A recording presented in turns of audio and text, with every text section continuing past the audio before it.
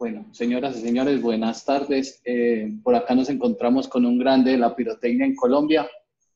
Eh, es un orgullo para mí tenerlo en nuestro canal. Así que sin más preámbulos, tenemos, al señor Miguel Sanabria. Don Miguel, el espacio es todo suyo. Ok. Bueno, para los que no me conocen, eh, mi nombre es Miguel Sanabria. voy a darles una charla de cómo empecé hasta el día de hoy. Bueno, yo empiezo en las minitecas en los años 87, en el colegio.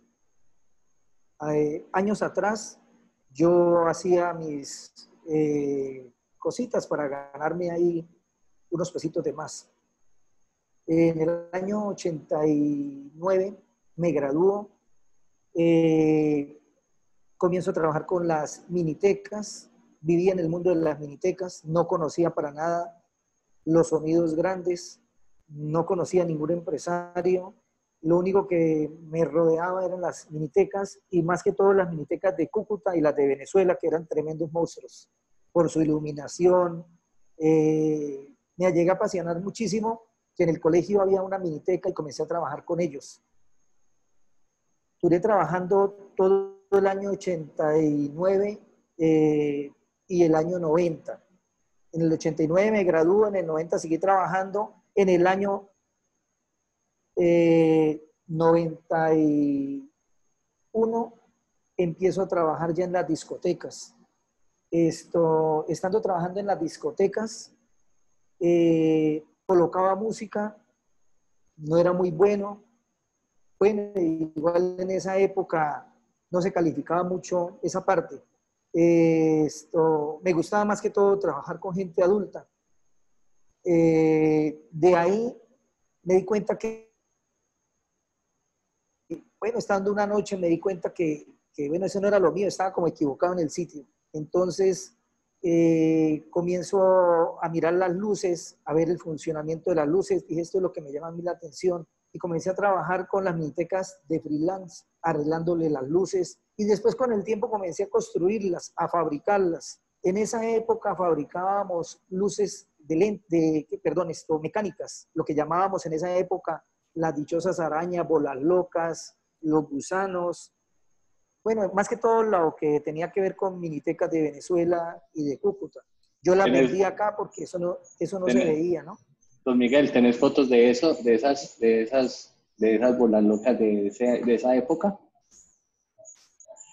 De pronto, ¿no? Si no, no, siga. no se pues, preocupe. Creo, siga. Sí, creo. No, espera. Porque es interesante ver el, el, material que utilizabas antes. Sí. Un segundo, a ver si por acá consigo algo.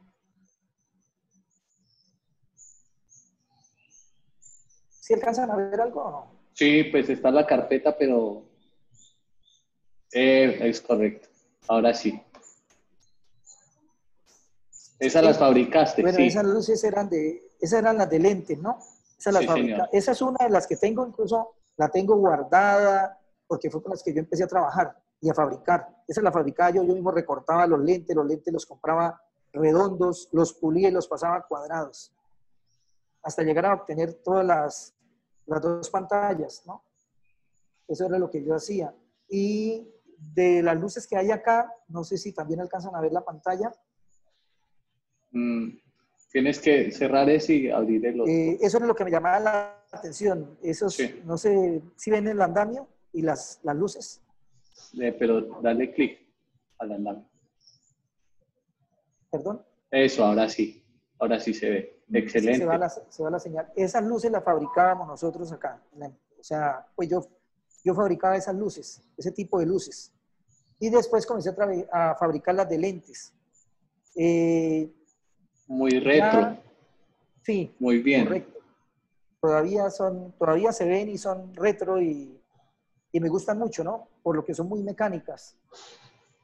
Ya en el año 92 que estaba trabajando como freelance. Eh, me conocí con la que es mi esposa y ya en el año 93 teníamos un tallercito pequeño. Eh, fabricábamos artículos metálicos, exhibición, parrillas para nevera, refrigeración, todo el cuento. Teníamos equipitos pequeños, era algo muy pequeño. Eh, y yo fabricaba las lucecitas ahí. Ya las doblaba las cajitas, las pintábamos, no tenía pintura electrostática, era todo líquida. Eh, bueno, ya con el tiempo eh, compramos lo que es ahora mi empresa con mi esposa, que ya es más grande. Creo que usted vino, Juan Carlos. Sí, claro que sí, don Miguel. Ah, ok. Esto, eh, ahí comencé ya pues a trabajar otras cosas y ya empecé con, lo primero que compré fue una máquina de espuma en esa época, el año 97, si no estoy mal, o 98. Estábamos en la época de las máquinas de espuma.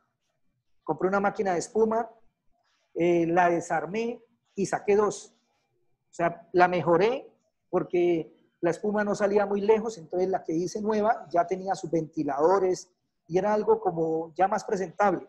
Esas son las, don Miguel, son las fiestas que es hacer de ahora en adelante para el COVID, para que se bañen todos con espuma y jabón.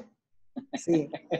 Esto, bueno, eh, después de esa máquina yo se la alquilaba a las discotecas porque la pensaba era comprar y vender. No había pasado por mi cabeza alquilar nada, sino comprar y, y, ¿qué? y venderla.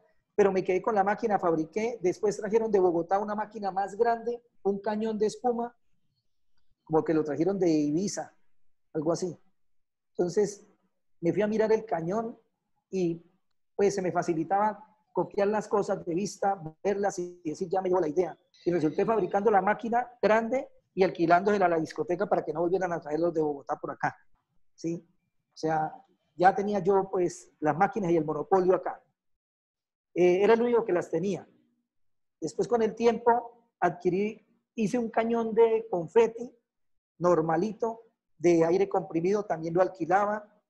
Eh, hice un lanzallamas sin saber que no lo había visto en internet, no había visto nada, sino me lo, me lo me puse a tirarle mente y hice un lanzallamas. Lo trabajaba con una botellita de gas, incluso nadie me lo alquilaba ni, por mi cabeza pasaba que eso iba a ser el furor a futuro. Entonces yo hice un lanzallamas y lo llevaba a los eventos y lo regalaba incluso, no lo alquilaba, lo regalaba con las demás cosas. Eh, ya con, con, el tiempo eh, me compré un Venturi, pero no botaba papel, o sea, se atoraba. Entonces me sentí como estafado y lo que hice fue que lo desarmé y lo copié todo y los hice de nuevo y, y, averigüé por qué no funcionaba. Era que, claro, el sistema de los huecos internos del Venturi no permitía la succión del papel. Entonces lo pude cuadrar, lo hice a mi gusto eh, y comencé a sacar los Venturis. Entonces ya tenía máquinas de espuma, máquinas de confeti, Venturis y un lanzallamas pequeño. Eh, conseguí las válvulas y pude fabricar los CryoJets. Los primeros que, que hice fue con, una, con unas válvulas importadas, eh, marca Asco, que han sido las mejores que yo conozco. Eh, ya tenía pues también Criollés y conocí a los empresarios de mi ciudad. Trabajaba ya con el señor JJ Sonido y trabajaba con este empresario Oscar Pinzón. Ellos me daban trabajo en, en inauguraciones, eh, activaciones de marca. También trabajaba con una compañía Belmont, eh, de cigarrillos, les hacía las activaciones de marca. Eh, de Bogotá muy poco venían por acá, igual esta ciudad no ha sido una ciudad, soy de Bucaramanga, la ciudad no ha sido una ciudad como de eventos masivos. Han habido eventos, pero no, no es el fuerte de nosotros esta ciudad. Más que todo el fuerte de nosotros es el vallenato. Pero cuando venían, pues aprovechaba para ver todo lo que las demás empresas traían. En esa época conocí, creo que Espera Producciones. No sé si Juan Carlos, ¿se acuerda de eso? Ah, yo, yo, trabajé con, con Esfera, hicimos muchas, muchas giras en Centroamérica con, con Vémosla en la playa y la máquina esa de espuma que usted dice, esa, la ah, que, ese era el furor en esa época, que eso fue por allá por el 2015, esa gira con, con en la playa y, y, Esfera Producciones. Sí, una empresa muy bien posicionada. Me, me, gustaba muchísimo esa empresa por lo que hacía. Eh, aunque no le veían siempre veían los Venturis y algo de, pirotecnia. Esto, conocía esas empresas, eh, pero no conocía a nadie de afuera. todo era acá internamente, no viajaba. Apuradito no salía de ciudades cerca, Cúcuta, Barranca Bermeja, que está a dos horas, de, pueblitos. Eh, por mi cabeza no pasaba a viajar, sino estar acá haciendo mis cositas y mis eventos. Bueno, ahí pasó ya el tiempo, eh, ya comencé a fabricar, a ofrecer los productos que yo fabricaba, lo que eran Venturis y Criollés, y comencé a ofrecérselos a, como aquí no me los compraban, entonces comencé a ofrecérselos a la gente de Venezuela. Fue un mercado difícil, eh, pero yo seguía insistiendo, yo lo llamaba porque no teníamos prácticamente medios de internet así muy buenos, entonces yo me las ingeniaba para llamarlos, hablar con ellos, les ofrecía los productos, pero no me los compraban, igual no me conocían. Entonces yo decía, bueno, yo tengo que venderle alguna miniteca de allá buena, entonces yo me enfoqué en una miniteca que se llama Tridimension, de Venezuela, que queda en Barquisimeto. Convencí al señor y le dejé a muy buen precio los Venturis, los Criojex y el lanzallamas que yo tenía, que le comenté que hice por primera vez, se lo llevé para que lo viera, porque no había sacado el modelo mío. Él se enamoró de los Venturis, de los Criollés, me los compró, inmediatamente llamó a un amigo, el amigo me compró también por teléfono y comencé yo a vender equipos cuando se podía viajar y, y el Bolívar estaba a muy buen precio. Le vendí muchos equipos a Venezuela, a las minitecas más grandes. Le vendía Crioller, Lanzallamas y Venturis. Era lo que más vendía. Durante muchos años tenía pedido con ellos. O sea, me fue muy bien con ellos. Eh, ya con el tiempo hubo un festival de reggaetón en mi ciudad. Estamos hablando del 2011. Ah, antes de eso, pues tuve también una minitequita, la, la acabé, pues sacamos la sociedad con un familiar, él se quedó con el sonido y yo arranqué de cero. Ahí fue cuando arranqué con los efectos. Eh, ya en el 2011 hice un evento de reggaetón. Yo le había hecho unas cositas a Balvin muy pequeñas, cuando eso Balvin apenas estaba empezando. Le hice eh, Criojex, creo que le alquilé para dos shows y eh, en esa presentación que hubo en Bucaramanga, en el velódromo, se presentaba Rey con Balvin. Eh, habían muchos artistas de Medellín, más que todos, todos eran de Medellín, que estaban empezando. En esa época estaba empezando el furor del reggaetón. Entonces, yo le hice los efectos a todos, pero le dejé una parte más grande para Balvin. Y como teníamos, como habíamos hablado ya, le dije, mire, le voy a hacer, le voy a colocar un montaje bien chévere, bien bonito, que le guste. Y sí, el evento terminó y me mandó a llamar eh, José a Camerinos. Yo fui hasta allá, lo saludé, me dijo que había quedado contento con lo que le había colocado y me dijo, prepárese que a partir de hoy usted comienza a viajar con nosotros. Entonces, pues yo no lo, yo no lo creía, o sea, decía, será pues tomándome el pelo, ¿no? O sea, ¿qué se va a interesar si tantas compañías que hay en Bogotá, en Medellín, en Cali y de acá de Bucaramanga? Y no, y, me dijo, dentro de 15 días ya viajamos. El primer evento fue los premios India Catalina en, en la ciudad de Cartagena. Entonces yo le dije a él que, primero le he dicho que sí, después cuando llegué a mi casa me desanimé y dije, no, yo no quiero salir, yo no quiero viajar, yo no quería nada de eso, yo quería pues no salir de mi ciudad. Pues Miguel, una pregunta. El set que utilizaste para, para ese, ese, ese primer show que le hiciste a, Balvin, ¿usted se acuerda de él? ¿Nos puede decir qué fue lo que utilizó? Yo utilicé criollés, utilicé lanzallamas de propano, eh, utilicé Venturis, eh, le coloqué una cascada, le coloqué unos rockets, que son como unos cohetes, eh, minas hertz de un segundo de duración. Eh, bueno, el, hombre quedó fascinado con todo lo que le coloqué. O sea, quedó matado, que eso era lo que yo quería, pero no pensaba pues que fuera para llegar a viajar. No sé, de pronto vio que las cosas se hicieron bien, que todo salió como él quería. Y de ahí comencé yo a viajar y viajé muchos años con él y con el tiempo, por medio de Oscar Pinzón y, y Diomar García, se presentó un evento que era con Tito el Bambino. Era la primera vez que yo hacía un artista de Puerto Rico. Y bueno, lo hice en Valledupar, salió bien. Después eh, lo repetí en Manizales. Y a mí se me ocurrió decirle a un amigo de Venezuela que yo había hecho Tito el Bambino, o sea, un amigo que me había comprado equipos. Él estaba haciendo la feria de San Sebastián en San Cristóbal. Y a mí se me ocurrió decirle a él que yo le había hecho, pues le había instalado efectos para Tito el Bambino. Digo, pues yo tengo a Tito el Bambino acá, esto dígame cuánto vale y viene y lo hace. Entonces, claro, yo me ilusioné y le di un precio, llegamos a un acuerdo y me fui a hacer Tito el Bambino a la ciudad de San Cristóbal, en el estado Táchira. Eh, allá le ayudé con los dos artistas, con los equipos de él. Ya le había vendido equipos míos, criollés y lanzallamas. Y hicimos Tito el Bambino, pero me fue re mal. Me fue re mal porque resulta que primero no tenía la experiencia y ya la gente de Venezuela nos llevaba años luz en efectos.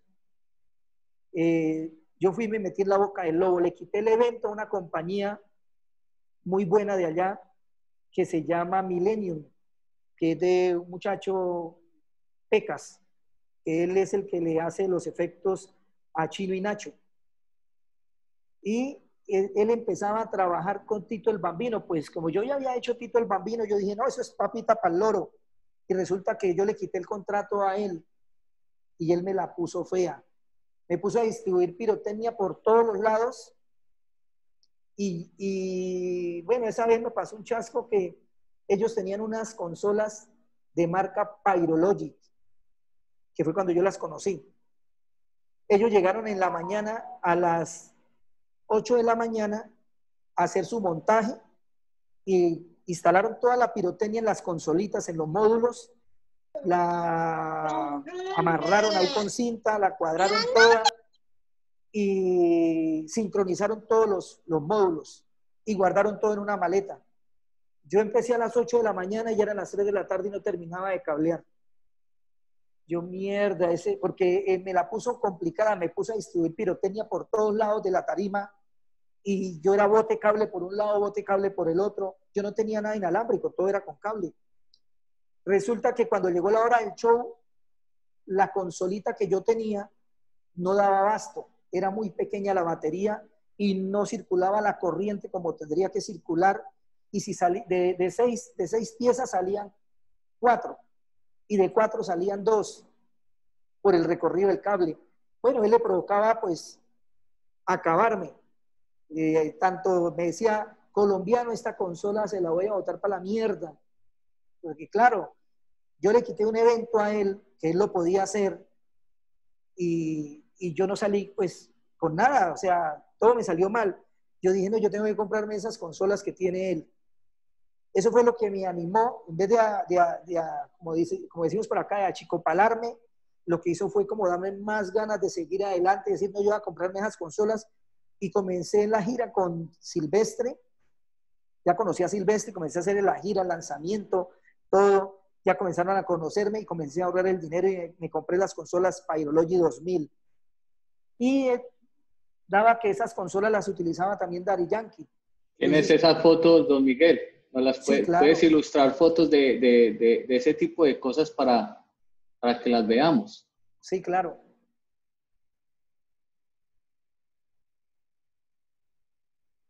tienes una presentación grande y, te emocionaste con la, con la historia. No, no, no, es que esta, es porque esta es más cortica, pero... Ok. Pero no. Bueno, ahí están las consolas, ahí está con la que yo empecé, ¿sí? La que está al lado izquierdo me la vendieron en Venezuela, la que está en el centro, la número dos, ya la reformé, la arreglé yo, porque no me gustaba la otra, porque la otra me tocaba llegar con todos los cables hasta el control. Y eh, yo le diseñé unos, eh, unos módulos que trabajan con cable nueve, de nueve pines. Iban a la consola. Entonces, con esta fue que quedé como un zapato en Venezuela. Igual todavía la tengo. Y ya, ya compré la Pyrology. No sé si la alcanzan a observar, la Pyrology. Sí, claro. Bueno, entonces yo compré Pyrology. Con el tiempo compré Pyromay. Y después compré Cobra. Eh, y de último hemos comprado la Fire One, que es la con la que hacemos los piromusicales y es la consola que pues para mí es la más segura porque es alámbrica, no falla para nada, no pierde señal. Eh, incluso teníamos muchas experiencias con Cobra porque después de que colocábamos los módulos y los sincronizábamos y prendíamos, se nos iba la señal, no funcionaba bien, pero no, la consola es muy buena. Lo que pasa es que en ciertos sitios se puede estar quedando, de pronto la señal en Colombia no es muy buena para estos equipos. La Pyrology nunca me dejó votado, solamente que, los iniciadores con el tiempo, el fósforo venía de muy alto de muy alta resistencia y esa consolita no era capaz de encender los fósforos. La Pyromay, una consola excelente, una consola que quema de todo hasta 200 metros, es alámbrica, es una consolita que yo la recomiendo mucho para las personas que están empezando, la, la, Pyromay. Y después seguiría la Cobra, que es una consola eh, inalámbrica muy buena. Y bueno, ya otro nivel es la Fire One por el costo. Entonces, bueno, eh, ya comencé yo a trabajar eh, con toda la gente de producción a nivel nacional. Ya comenzaron a conocerme por el recorrido con Silvestre, con Balvin. Si no era con uno, era con el otro, si no eran los dos al mismo tiempo. Y creo que ahí nos conocimos con Juan Carlos trabajando con, con Silvestre. Bueno, yo, yo hice eh, primero Cantinero y ahí fue donde lo conocí. Después hicimos la novena batalla, después sigo invicto y ¿Cuál fue la otra? Bueno, ese ha, sido, ese ha sido mi recorrido, ya para no alargar más hasta, hasta, hasta donde llego yo acá al año 2020, que sigo luchando. Y bueno, y es una persona que he aprendido, es como, digámoslo, la universidad en la calle, empírico, ¿sí? Hay cosas que de pronto no manejo muy bien, que es la parte de programación, y para eso tengo pues un gran amigo que es José David Espina, que es el que trabaja conmigo en la parte de programaciones. Esa parte la dejo yo a él, ahora más tarde vamos a hablar. Vamos a empezar ahora sí con el tema de los efectos, ya le dije de dónde salí y todo el cuento. Bueno, entonces, hablemos de los efectos especiales, ¿no? Que son un conjunto de técnicas y elementos que se utilizan en cine, teatro, conciertos musicales para crear ambientes diferentes. Esa es la idea, es la, como la magia, como para mí es lo que puede salvar un evento, como también lo que puede hundir un evento, ¿no? porque a veces eh, oprimimos el botón que no es y sale lo que no tiene que salir, o a veces no sale nada y todo el mundo está esperando. Eh, bueno, eso es, eso es lo más emocionante de los efectos para mí, ¿no? Yo no, no lo cambio por nada y ahí moriré con este cuento porque pues, me llama la atención como ese arte, ¿no? Que lo único que digo es, lástima no haber conocido los empresarios que estuvieron, bueno, los productores que estuvieron el sábado, ¿fue que se presentaron? Sí, sí, el sábado y, el, y el miércoles tenemos otra vez los mismos empresarios, los más duros. Ah, ah, bueno, pues no tuve la oportunidad de trabajar con ninguno de ellos, sí trabajé con Lanzoni, que es de la vieja guardia de ellos. Y los que conozco son de la nueva ola, pero hubiera sido interesante haber trabajado con ellos, o sea, haberme, haberlos conocido. Lo que pasa es que mi ciudad pues me prestaba para más. Bueno, yo voy a empezar con, ahora con, con los lanzallamas. Estos son los equipos de los cuales eh, yo trabajo eh, y recomiendo para los que están empezando. Por ejemplo, en el número uno tenemos los lanzallamas de silicona, que son los que trabajan con alcoholes presurizados. Esos lanzallamas tienen una altura de dos metros, eh, el producto es muy inflamable, hay que saberlos trabajar muy bien, es, delicado porque a mí me han pasado accidentes, han habido quemados, ¿no? Entonces, eh, es un equipo que hay que tenerle respeto, ¿sí? Eh, estamos con el gas propano, que nos lo tienen prohibido en muchas ciudades. Yo todavía de vez en cuando lo trabajo en mi ciudad, que no me molestan tanto, pero ellos trabajan con una bombona de gas licuado del petróleo, gas propano. Eh, ese controlito y ese lanzallamas lo fabricaba yo para la gente de Venezuela, ya sí no se lo prohibían o podían trabajar perfectamente. Eh, ya estamos con el, lanzallamas de líquido que trabaja con isopar o líquido, esto, alcohol isopropílico. El isopar es más seguro, el alcohol isopropílico es más delicado de trabajar, es más inflamable. Eh, este lanzallamas eh, tiene una bomba a la cual uno le aplica en un tanque el, líquido y él lo succiona y lo expulsa. Pasamos al lanzallamas de gas butano o gas butano y propano, porque es una mezcla de los dos, son en porcentajes. Eh, si puede observar, son dos cartuchos. Es lo que ese lanzallamas, bueno, es el de moda, el que piden ahorita la mayoría de artistas, los G-Flames, que son unos lanzallamas eh, muy seguros. No sé por qué no los han prohibido, porque también igual trabajan con gas propano y butano. Eh, la altura es de 4 metros. Eh, el complique de ahí es conseguir los, los canequitos de gas. No son muy comerciales. Ese que está en la imagen es, es un gas que es alemán, pero aquí se consigue, pero yo incluso le tengo accesorios para poder adaptar al que, se, al que venden acá y, y porque este es de una rosca especial. Yo tengo eh, de estos mismos, pero en la marca Esplo. Pero los míos ya son los últimos, los mixtos. Los míos trabajan con líquido, con gas eh, propano y con gas butano. Lo único que tengo que hacer es cambiarle las boquillas para que pueda trabajar con, con cualquiera de, de, esos productos. Eh, este sería un lanzallamas muy completo, ¿sí? Porque ya si hablamos del lanzallamas de líquido, es un lanzallamas costoso, ¿sí? Y no cualquiera lo, lo compra. O sea, no es imposible, pero no cualquiera. ¿Sí? Buenas tardes, don Miguel. Merced. Eh, hace unos, un par de años en un show de Don Omar utilizaba uno. Lo sé porque yo trabajaba en la producción y el man jodió que fuera usted el que el que estuviera, que tenía los equipos, ¿cuál, cuál lanzallamas era? El de propano, este. El de propano. Gas propano. Si eran los lanceros, los eventos de Don Omar, eran con este, con gas propano. Trabajamos, eh, ¿en qué ciudad, perdón? En Bogotá, don, don, Miguel. Eran unos lanzallamas especiales que él traía y eso, que lo único que los podía, que el único que podía trabajar con él era su merced, lo recuerdo muy bien. Esto, él traía esta línea, pero en Sigma. Esta línea. Eh, que son, el Sigma es idéntico al funcionamiento de este que tengo acá en la imagen. O sea, son más o menos dos metros de altura y trabaja con gas propano. Y esos eran los que él manejaba. Porque en esa época los manejaba eh, Ramón, Ramón Lenger, que creo que era el que manejaba esos, equipos. Muchas gracias, Miguel. Eh, bueno, eh, yo recomendaría para empezar los de silicona, ¿no? Y si tienen como, los mixtos. Es una buena elección. Aquí le presento los envases con los cuales trabajan los lanzallamas, los productos.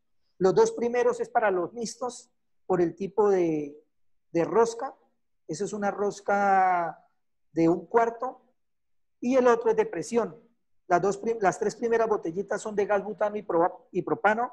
La última botellita es la de, la de silicona, lo que llamamos alcohol, que esa lleva un propelente para impulsarlo. O sea, aparte de que lleva el alcohol, lleva gas propano o gas butano para impulsarlo. Y lo último que tengo es un manómetro, eh, porque muchas veces eh, cuando dejamos los tarritos por ahí guardados, no sabemos qué presión tienen. Entonces, por ejemplo, en el gas eh, butano, sabemos que con ese aparatico tiene que medir unas 40 o 50 libras de presión y en el líquido, que es el de silicona, tiene que medir unas 80 libras de presión. Ese aparatico lo uso para eso. Tengo este, que es un depósito que lo utilizo con gas isopar, perdón, con líquido isopar o con alcohol isopropílico. Este depósito se lo fabriqué para los lanzallamas míos, los mixtos. Eh, este depósito trabaja con 120 libras o 150 libras de presión, tiene su válvula de seguridad, por un lado, eh, aparte del líquido que lo llenamos con el líquido, eh, tiene dos salidas y tiene la entrada del nitrógeno o CO2. Pero para poder utilizar ese equipo necesito tener un regulador, porque el nitrógeno nos da 2.400 libras de presión y podemos cometer un accidente con ese, con ese, aunque tiene sus válvulas de seguridad, ¿sí? O se puede reventar la manguera, porque la manguera no va a soportar de pronto la que yo uso para esto, soporta apenas 200 libras, porque igual no la, subo, no la subo más de 150 libras.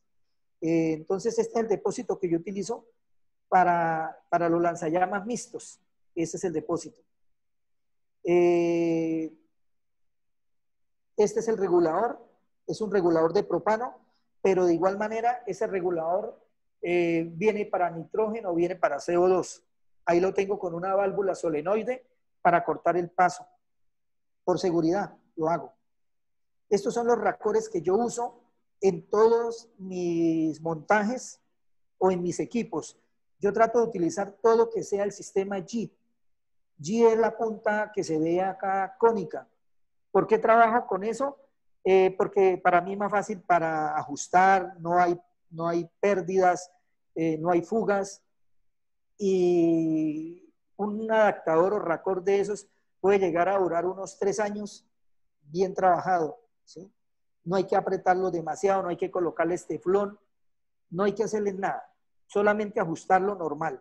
Y está el acople rápido. No soy muy amigo del acople rápido porque después de que usted saca un acople rápido para meterlo es el complique por la presión que queda guardada. Entonces, lo mío siempre va a ser así. Incluso las compañías de Colombia, digamos, en Cali, en Medellín y en Bogotá, he tratado que los demás colegas tengan los mismos acoples para que nos podamos prestar la manguera, nos podamos prestar eh, los accesorios, para que sean compatibles. Porque cuando usted compra un criojet, vienen con, bueno, cualquier cantidad de roscas y más que todo NPT, no son G, que el G es un acople eh, más seguro que el NPT. Eh, aquí vemos un lanzallamas de los mixtos trabajando con una bomba.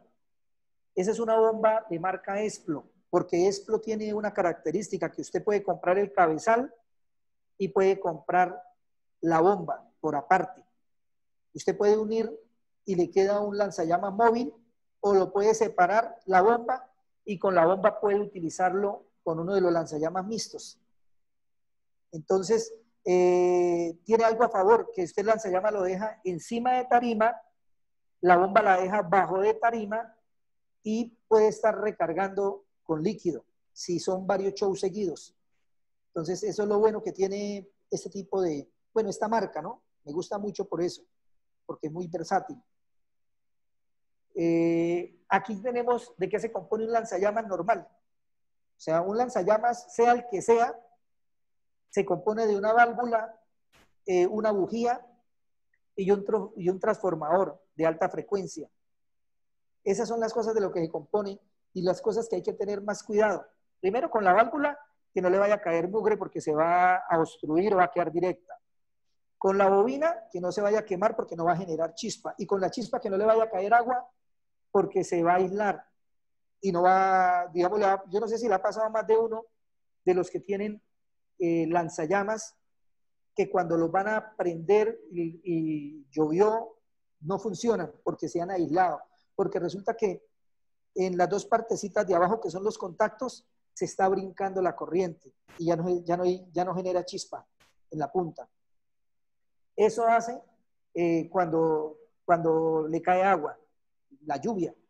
Yo lo que hago es aislar las puntas por completo y aislar los terminales con silicona para que el agua resbale y no se deposite. Eso es lo que yo hago. Eh, lo otro que, que hago, cuando compro un lanzallamas de estos, de silicona, es que eh, la chispa la dejo en una sola posición. O sea, él tiene aquí una latica y puede estarla moviendo para adelante, para atrás y nunca va a funcionar a veces en, shows. Entonces, yo lo que hago es calibrarla y dejarla quietica para no estarla moviendo porque los empleados o los chicos, los técnicos la van a estar moviendo hacia adelante, hacia atrás, y lo que no saben es que lo que prenden no es que le llegue el chorro directamente a la chispa, sino que llegue por un lado, que medio la toque. Eso es lo que hace que se, encienda la llama. Entonces muchos creen que es acercarle la chispa ya a la salida de la válvula y no, están equivocados. Es, es la nubecita que se forma por el spray. Eh, bueno, ahí terminamos lo de los lanzallamas. No sé si tengan alguna pregunta las personas interesadas o tienen alguna duda. Don Miguel, eh, ahí, tienes lanzallamas en DMX, ¿cierto? ¿Cuántos canales utiliza eso? ¿Solo un solo canal y ya? Es, creo que son dos canales. Porque yo puedo darle chispa y con el otro abro la válvula, ¿no? Y, esos tú también tienes móviles, así móviles de chis, de lanzallamas. Sí, claro, yo tengo, yo no tengo la marca Esplo, pero tengo la marca Showen, Showen, que es chino, pero son los mismos creadores de las Sparkular. O sea, hasta el momento a mí me han salido buenas. Al principio tuve problemas, pero ellos me dieron muy buena asistencia técnica y las mías están al pelo, o sea, están funcionando bien. Yo tengo ya con ellas, creo que este año cumplo tres años con esas máquinas y me han funcionado perfectamente. Y tengo de la marca, estos también vienen en la marca Esplo, ¿no? Eh, son muy buena marca. Yo tengo en Esplo solamente los mixtos. Eh, por lo general, eh, los normalitos los trabajo con switchera normal, no los trabajo con DMX. Y si los trabajo con, con un DMX, siempre utilizo un dimmer o, los, o los otros tienen su entrada DMX y también los vistos tienen entrada incluso DMX y inalámbrico. Pero yo solamente los trabajo DMX. Eh, bueno, aquí pasamos a lo que es, vamos a hablar del CO2. ¿Qué es el CO2, no? Eh, don, Miguel, antes de que, antes de que eh, saltemos al próximo, me pregunta Carlos Gutiérrez, cuando la llama es de colores que, que se debe al líquido. Me preguntan eso. Sí, claro. Cuando la llama es de colores se debe al líquido. O sea, el líquido por lo general viene natural, ¿sí? Incluso aquí en Colombia conseguimos el líquido, líquido natural y ya envasado eh, fuera del país, en China o en Corea, nos toca importarlo. Eh, ya el, el líquido como tal viene con unos bueno, con unos productos que le dan el color, ¿sí? Con unos químicos que le dan el color, sea rojo, verde, azul. Eh, entonces, él, ya viene así. Yo, digamos, no le puedo decir que no, he experimentado para ponerme a probar con ese tema. Eh, y la gente que ha probado no le, no le ha dado resultado, no sé cuál será la fórmula, ¿no? Pero usted ve el color y aparentemente yo los he sacado del canequito y se ve el color azulito, el color verde, el tono que le da. Y la diferencia del líquido chino al líquido que conseguimos aquí en Colombia es que el chino eh, no se evapora o no se, o no se llena de presión el, eh, el envase. Yo he sacado los líquidos y los he envasado en canecos plásticos y el, el que fabrican en Colombia el, se llena de aire y se como a explotarse se llena de aire, eh, mientras que el chino no. No sé qué aditamientos tendrá el chino. ¿Sí? ¿Alguna otra pregunta? Don Buenas tardes con Julián Raigosa. Una consulta. Julián. Em, me ha pasado especialmente con las flamas de gas propano, que claro, duran un montón, duran mucho, eh, se puede accionar mucho esas máquinas, pero la altura, la presión no suele ser como tan alta. Eso, cuando pasa eso, ¿por qué pasa y se puede solucionar? Bueno, lo que pasa es que una bombona de gas propano, estamos hablando de la, de la bombona grande o las botellitas pequeñas. De las grandes. Ok. Bueno, una bombona de gas propano tiene 120 libras de presión o 100, de 100 a 120 libras de presión. ¿Sí? No es mayor la presión. Y ella no va a subir más de los dos metros. O sea, eh, tendría que eh, tener una válvula de muy buena salida ¿sí? para que suba unos tres metros. ya estás en la válvula interna, ¿sí? Porque nosotros hemos hecho pruebas, los míos son con válvula de un cuarto y les hemos colocado válvula de media. Entonces hay más salida, pero hay un escándalo más grande. O sea, hace una vibración muy fea. Eh, se asusta la gente cuando los escucha salir. El golpe es muy fuerte, pero se debe a que el gas propano no, da más. Otras compañías que hacen, le agregan nitrógeno para que dé más altura con el gas propano. Lo que yo recomendaría de pronto serían las botellitas pequeñas, que esas sí son para los lanzallamas mixtos, y ustedes que viajan, eh, sería lo más adecuado para que las pidieran el rider, ya que esas botellitas sí le dan un poco más de altura. Porque ya eh, lo otro que tiene que ver es que eh, la combinación del butano con el propano en el porcentaje, estoy hablando de estos, de estos insumos, los dos primeros, los azules, ellos le van a dar muy buena altura. Si el lanzallamas le caben cuatro o le caben dos, la altura es muy buena. créame que va a tener unos 4 metros de altura. Obvio, el cartucho es pequeño y va a tener que hacer cambios. Pero, pero le va a dar mejor resultado. Ya que y, cuando son de que la sube, y cuando la mano sube más de un metro, don Miguel, cuando son casos extremos de que sube. Señor. Cuando son casos extremos de que la flama no sube más de un metro. Pero le ha pasado varias veces. Sí, sí, me ha pasado con propano.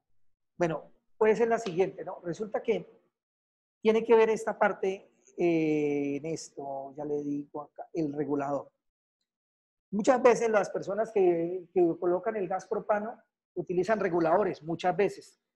Y el regulador que tienen tiene una capacidad muy pequeña, donde dice Harris, ese era ahí llena de gas por completo, es como, como un tanquecito de reserva, eh, todo el gas se deposita ahí. Cuando el lanzallamas a lo que usted lo oprime, esta cavidad es muy pequeña, entonces él no, no deja que salga el gas de la bombona como tiene que salir. Él lo está reteniendo. Al retenerlo no va a subir más de un metro. O sea, tiene mucho que ver en el regulador. Ahora, si dicen, no, pero es que nosotros no lo trabajamos con regulador, lo trabajamos directamente, tiene que ver mucho la válvula solenoide que tenga por dentro. Puede ser que no sea la válvula adecuada. ¿sí? Por eso no le va a subir más, porque si no tiene regulador, ese lanzallamas tiene que subir mínimo, mínimo, bueno, máximo, entre máximo y mínimo, un 82 metros. O sea, tiene que subir obligado, si es directo, si es sin regulador. Entonces, ahí pasaría, es cuestión no de la, de la chispa, sino ni de la manguera, sino ya estamos hablando de la válvula. Es que a veces, no sé si los, los, los lanzallamas que usted me está hablando son lanzallamas que no son originales.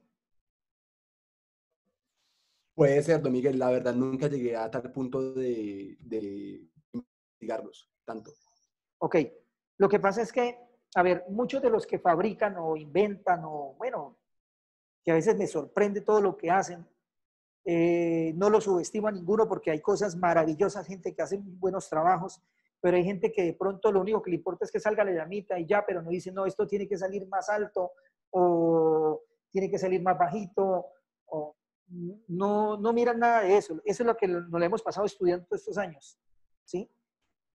Yo le aconsejaría que, que cambiaran los lanzallamas en los eventos, y lo ve, que los cambien por de silicona. Yo creo que lo van a dejar menos botado. Ahí lo único malo es que tiene que estarle cambiando los canequitos, ¿no? que es difícil a lo que ustedes se van a encontrar en cada país o en cada ciudad, ¿no? Gracias, don Miguel. Muy amable. Eh, ¿Alguna otra pregunta de alguno? Em, la pregunta es, buenas tardes. Buenas eh, tardes. ¿Hay alguna norma que especifique o algún estándar que especifique la altura máxima de, de las flamas o simplemente es a lo que más le dé? O sea, cada lanzallamas, sí, cada lanzallamas tiene sus especificaciones, ¿sí? Eh, por ejemplo, yo tengo los lanzallamas móviles y sufro con ellos porque son demasiado altos. Eh, los lanzallamas móviles que yo tengo tienen una altura de 12 metros. No los puedo llevar a sitios cerrados porque le van a pegar a las luces. Entonces, eh, tratamos de bajarle la altura, cambiándole las boquillas. Y todavía no dio la altura que queríamos. Queríamos 6 metros, 5 metros. Y ahí nos estaba bajando solamente a 9 metros. Entonces, eh, obvio, yo cuando voy a comprar un lanzallamas, eh, si lo compro es porque ya lo conozco muy bien o porque me asesoro muy bien qué es lo que quiero comprar y qué altura es la que necesito. Porque maravilloso sería que yo consiguiera un lanzallamas que subiera 12 metros y lo pudiera yo graduar a 6 metros y lo pudiera yo graduar a 4 metros. Entonces, de pronto las compañías grandes de Europa, lo que es Magic, han estado trabajando en ese tema. Lo que pasa es que ellos eh, no les conviene ese trabajo, sino que este es de 2 metros, este es para 4 metros, este es para 5 metros y este es para 10 metros y nos vamos a llenar de todos los lanzallamas porque no hay uno que haga la función de todas las alturas. ¿Le despejé más o menos la pregunta? Sí, señor. Eh, ¿Alguna otra o pasamos a los criojex?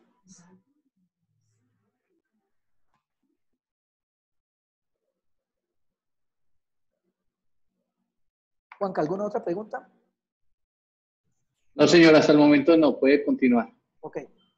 Bueno, vamos a hablar del CO2, que es el dióxido de carbono, ¿no? Que es una molécula que está formada por un átomo de carbono está ligado a dos átomos de oxígeno. Es un gas incoloro, inodoro. Es asfixiante en grandes cantidades y no es explosivo, porque es que mucha gente cree que porque el CO2 está en ese cilindro, entonces es que eh, va a explotar o va a hacer algún incendio, no sé qué se creen de pronto las autoridades. Y no, él no es explosivo. Usted puede dejar perfectamente la llave abierta, es lo que es, es, lo que él es asfixiante en sitios cerrados.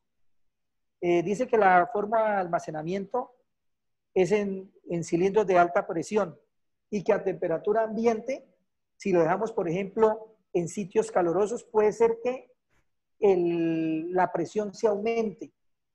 Y muchas veces, no sé si se les ha pasado a alguno, que se les ha estallado las válvulas de seguridad. O sea, de pronto tienen 10 eh, botellas al rayo del sol y de pronto una de esas se disparó y se le dañó de pronto, el, llamémoslo así, un fusible, que es eh, una valvulita de seguridad que ellas tienen, una laminilla.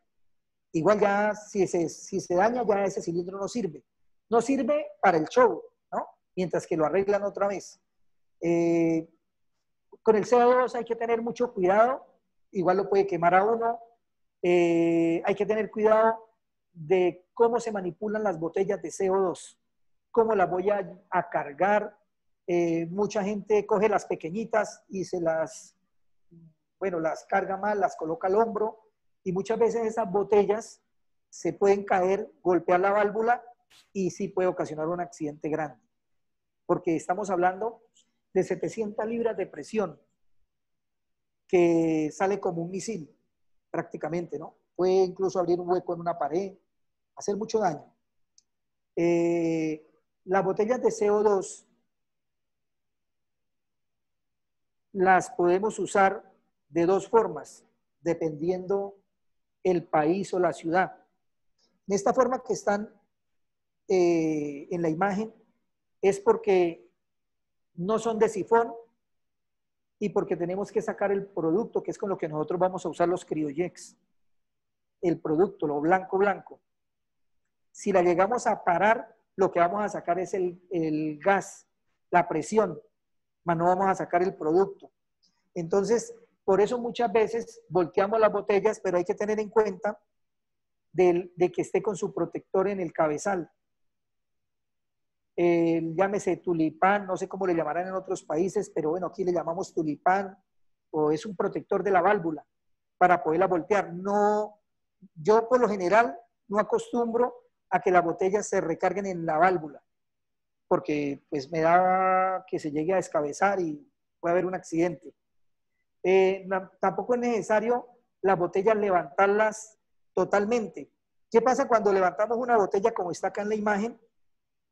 que todos los residuos que tiene la botella por dentro se nos va a ir a la válvula y nos van a pasar a través de la manguera y van a llegar a los criojets y va a dañarle los diafragmas a los criojets.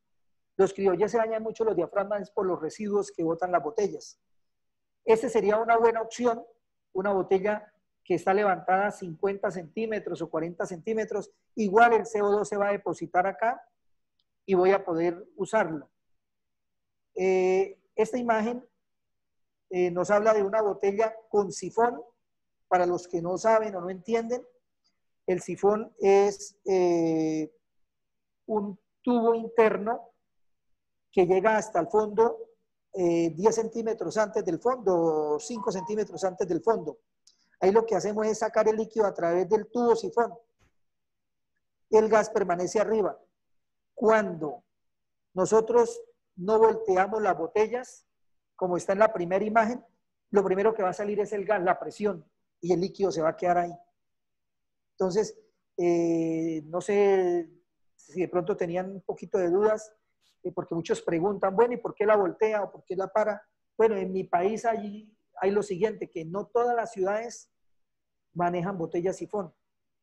Nosotros nos acomodamos con botellas normales y lo que hacemos es voltearlas. Bombero no está de acuerdo con que hagamos eso, que dice que es muy peligroso, pero igual, desde que no esté apoyándose en la válvula, no pasa nada. O sea, lo podemos hacer.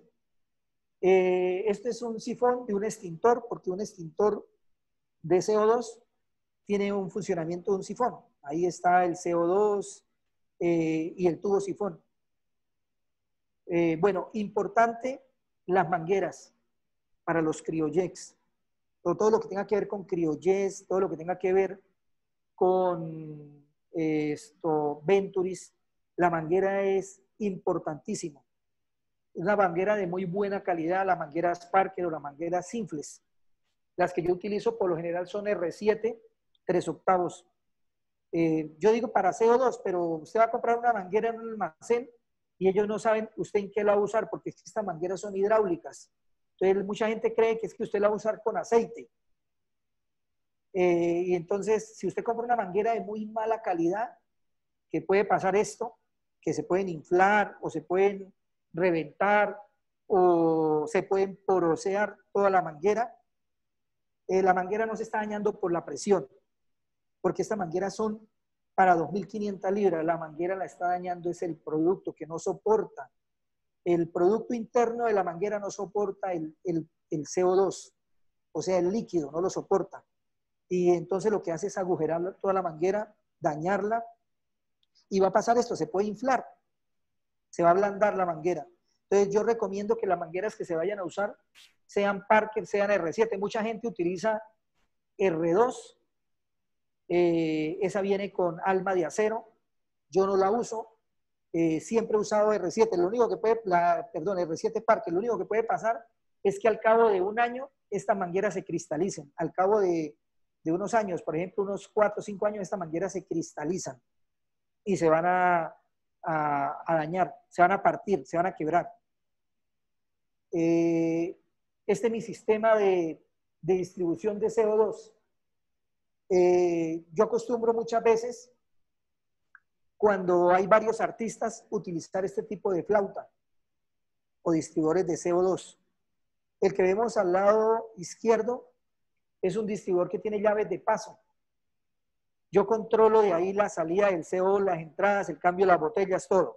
Eh, unas llaves van conectadas directamente a los criojets y las otras van a las botellas. Entonces, eh, yo muchas veces en, un concierto grande donde voy a utilizar ocho criollés, coloco dos distribuidores de estos, dos flautas, una al lado izquierdo, una a la derecha, y al mismo tiempo las uno, para que el CO2 se reparta uniforme. Eso me hace que, primero, eh, si no ahorro CO2, el CO2 siempre va a estar, siempre, así sea una sola botella. Eh, hay veces que los artistas se han gastado todo y necesitan la botella de terminar el show es importante y podemos darle otra botella más y no haber demora en abrir la llave y cerrarla. El de ocho salidas directas, el problema es que no puedo controlar nada.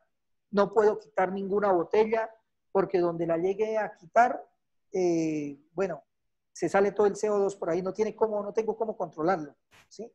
Pero igual uso de ambos.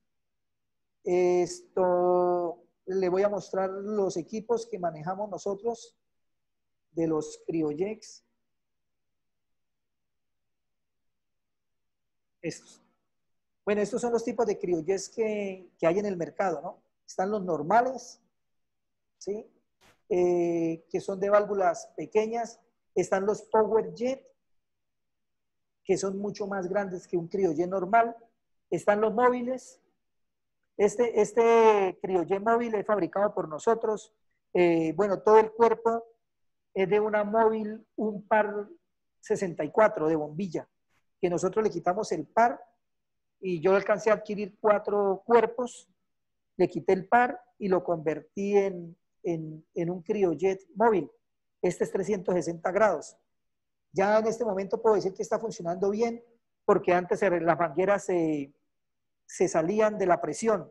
Ya lo pasamos a la parte metálica, ya hicimos pruebas y nos ha funcionado perfectamente. No Don Miguel, es, es, una cabeza móvil, no un parlet.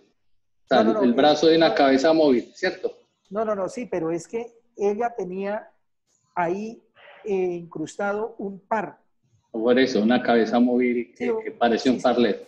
Sí, sí, correcto. Bueno, una cabeza móvil con un par, pero era un par 64. ¿Sí? Dame un segundo. A una móvil wash, por decirlo así, ¿cierto, Miguel? Sí, no sé si de pronto acá alcancen a ver algo. Sí, sí, sí, es una cabeza LED. Pero no es LED, es... Es, par, es par 64. Sí, par. Correcto. Sí, sí, sí. Entonces nosotros que hicimos, le quitamos el, el par, ¿sí? Y lo convertimos en, lo convertimos en una móvil, criolle móvil, porque hacía la misma función. Y ya tenemos las móviles 180 grados, que son eh, vaivén, eh, esas sí son de marca Esplo, muy buena marca, excelentes. La, única diferencia de un Power Jet a un Cryojet normal es la válvula. O sea, la válvula del Power Jet es mucho más grande, la válvula del Cryojet normal es más pequeña, es lo que lo diferencia. Eh, el cañón de salida es más grande, el del Power Jet. Y el Power Jet, como tiene una válvula más grande, va a consumir más CO2. O sea, un criojet normal tiene una altura aproximadamente de 8 metros y un Power Jet puede subir a 12 metros de altura. Puede tocar prácticamente el techo de un escenario, digámoslo así. Eh, esa es la diferencia entre el Power Jet y un criojet normal, son las válvulas internas. Eh, bueno, aquí les voy a mostrar un despiece de una válvula criogénica. Bueno, esta es la válvula típica que nosotros usamos o la gente utiliza mucho en los criojets. Ahí vemos el pistón, el resorte del pistón, el cuerpo de la válvula, el diafragma, que es lo que más se daña, y la canastilla. Esta es una válvula ya en, despiece, ¿no? Eh, y estos son los diafragmas. En los primeros vemos el diafragma de la válvula eh, anterior, estos son los que se dañan estos sellos. Bueno, se dañan, en la segunda foto se ve ya un diafragma eh, instalado todavía, pero con desperfecto.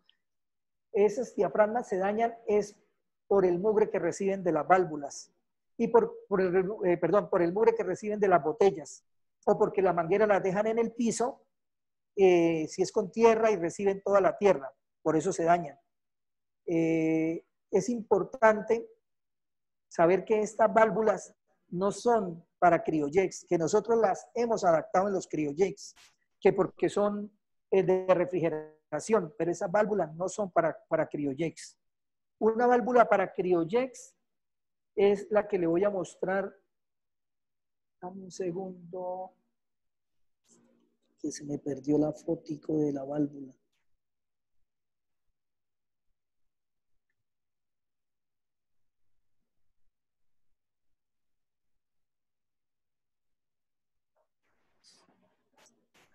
Bueno, se me perdió la foto. Una válvula para criojet, eh, por ejemplo, la de donde dice diafragma criojet magic. Estas, estos, empaques o diafragmas son en un muy buen material. Un criojet magic es excelentemente bueno para trabajar en menos grados que soporte el frío del CO2 o a mil, ellas trabajan a 1500 libras de presión. O sea, es un criojet que no se le va a quedar colgado en ningún evento, que le va a funcionar perfectamente hasta que ya tenga desgaste los pistones, que ya comienzan a tener fugas. En la figura número 4 vemos un pistón, bueno, un sello de una válvula china muy buena. Lo único es que cuando recibe el mugre de las botellas, va a quedar con fugas. Pero esa es una, una excelente, una excelente válvula que tiene ese sello. Y la, la última figura, ya la número 5, vemos en una canastilla teflón. Esos son todos los residuos que le van a caer a la válvula y por eso va a quedar directa. O sea, el, teflón es enemigo número uno de la válvula de los criojex. Nosotros eh, diseñamos este filtro. Este es un filtro que eh, tiene la entrada la manguera en G916 y tiene la salida de G916. Por dentro tiene un filtro que retiene todo el mugre para que las válvulas no se dañen con el tiempo. O sea, que no se, no se afecten por cualquier mugre que les, que les entre. Eh, bueno, ahora pasamos a las, a las máquinas de papelillo. Las máquinas de papelillo eh, las que yo manejo son de aire comprimido, Venturis, Serpentina, Stadium Shock, y aquí están todos los modelos de Venturis. Eh, la de aire comprimido, pues hay que recargarlas con un compresor o en su defecto hay que recargarlas con una botella de CO2 siempre y cuando tengan un regulador. ¿sí? Si las quiere dejar permanentes. Si es para hacer el llenado, se puede llenar con una botella de CO2 y retirarlo inmediatamente, suba a 100 50 libras de presión. Esas son las de aire comprimido. La de los Venturis ya son máquinas de flujo continuo. O sea, si le aplicamos al tanque 4 eh, o 5 kilos de papel, él los va a succionar todos. ¿sí? Eh, un Venturi bueno eh, es por la membrana o la campana, que hace una buena succión porque hay, hay muchos Venturis que tienen que meter la mano para ayudarlos a sacar el papel, porque no, no succionan. O sea, está mal diseñada la campana, la membrana. Aquí tenemos la serpentina, estas son las que yo uso, que son de ocho salidas. Eh, vienen en un rack con un tanque de CO2. Eh, las válvulas son válvulas de criojets que soportan los las 800 libras de presión. Entonces, yo las dejo siempre abiertas y lo que hago es eh, llenarlas con el, con el papel. Está el Stadium Shock, que es una máquina que trabaja con 100 libras de presión, se llena con un compresor o se puede llenar con una botella de CO2 siempre y cuando no se deje conectada, solamente para llenado. Esa es una válvula que tiene una apertura de 2 pulgadas. O sea, ella abre todo el aire y por eso nosotros vemos que un Stadium Shock puede llegar a subir unos 20 metros de altura, 15 metros, 20 metros, es porque ella deja escapar todo el aire. Eh, entonces, eso es una válvula que tiene interna, no es una válvula solenoide normal, es una válvula especial que va dentro del tanque. Y ya en los modelos varios tenemos eh, un, esto, un Venturi de colgar un Venturi grande, un Venturi pequeño, una máquina de streamer sencillas y una máquina de confeti normal. Eh, bueno, ahora sí vamos a pasar a lo que es la, la pirotecnia. En la parte de la pirotecnia, lo que yo manejo en mis shows son los hairs, las minas, las flamas, los rockets los destellos aéreos y las cascadas.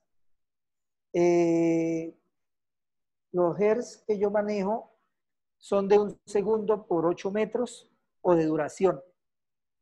Las minas son minas de ramillete y los comets eh, son comets seguidores eh, normales. No, en sí no manejo gran variedad, igual, en, mi ciudad, en mi ciudad no se consigue variedad de efectos. Ya tocaría, como esta marca, importarla. Las flamas sí son flamas que no superan los 2 metros de altura. Los rockets eh, son rockets de 50 o 100 metros, los utilizo mucho para los encendidos de las llamas olímpicas. Y los destellos aéreos porque son los que colocamos para hacer secuencias aéreas eh, que van colgadas en, las estructuras. Las cascadas eh, las uso de caída de 6 metros. en esto hay que tener cuidado es con la manipulación, ¿no? Más que todo lo que hay que tenerle un poquito de respeto son a las minas eh, en la posición que las va uno a colocar. Eh, las bases que nosotros tenemos para ese tipo de, de productos son unas bases que nos dejan, nos dan inclinación. Dame un segundo, le muestro acá una base.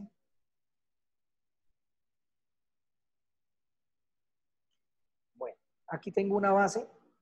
La primera foto que esa, esa base nosotros la desarrollamos, la diseñamos y la vendemos. Esta base, eh, en la parte frontal, colocamos los hertz. En la parte de inclinación colocamos las minas para que no se vayan a estrellar con el techo. Las inclinamos un poco hacia afuera para que sobresalgan el techo del, del escenario. Y ya aquí está un montaje con las minas en la foto 2. Lo otro que utilizamos son los concussion, eh, que son eh, el sonido de aturdimiento. Eh, eso ya los usamos en esas bases y utilizamos este tipo de, producto. Yo utilizo esta pirotecnia, primero porque no tiene olor, no, no desarmo ningún cohete para, para hacer eso. utilizo solamente ese producto porque me siento muy seguro y no necesito mucha cantidad. Eso es lo que nosotros utilizamos, lo que llamamos los concussion. Eh, ¿Hay alguna pregunta de esto? ¿De los criojets o de la parte de indoor? Todo muy bien, eh, muy bien explicado, Miguel. Ok. Bueno, ahora vamos a mirar con qué manipulamos Ah, bueno, no, no, no, miramos con qué manipulamos los efectos, ¿no? Porque me fui adelante. Voy, voy a mostrarles de rapidez con qué, con qué manejo los efectos. Los efectos los manejo con estos controles. Este fue con el que yo empecé hace años, que es un control normalito, una switchera normal, un pulsador. Eh, viendo la necesidad y porque todos los cables tienen que llegar al control, eh, mm, diseñamos este. Este es un control muy completo trabaja con un cable de 9 pines y tiene un multitoma. Yo lo único que tengo que hacer es de el multitoma llevar el cable hasta el control que está en, en escenario. No es DMX, es manual, es de pulso, pero muy bueno. El cable número 22. Eh, si yo quiero, él tiene una entrada y una salida y yo puedo adicionarle los que yo quiera ese multitoma trabaja con relevos. Yo puedo adicionarle todos los, los, los módulos que yo quiera, digámoslo así. Eh, aparte tiene una entrada directa de 110 y el control tiene un bloqueo de dos botones, tiene dos botones que son full para los cuatro primeros y otro botón, otro pulsador full para los cuatro segundos. Tiene dos botones independientes que es donde yo utilizo la serpentina o las cascadas. Para, bueno, para no enredarme con los otros botones, yo lo dejo siempre por aparte y por seguridad cierro los switches. Eso es lo que nosotros trabajamos. Y ya yéndonos como con más tecnología, eh, manejamos los portátiles, las tabletas y los relay pack. Eh, eso sí nos va a explicar de pronto Hospi el funcionamiento de esta parte.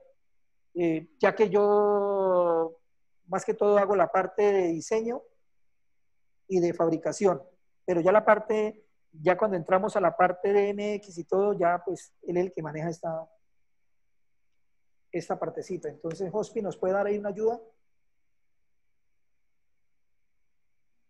Buenas tardes. ¿Me escuchan? Sí, sí, te escuchamos. Buenas tardes. buenas tardes. Pues básicamente el control que eh, mostró Miguel anteriormente usa relay. Eh, pues anteriormente no era muy conocido los relay pack con DMX. Eh, ¿Por qué, estamos, porque se, se, recomienda usar relay pack o un que el sistema que tenga relevos?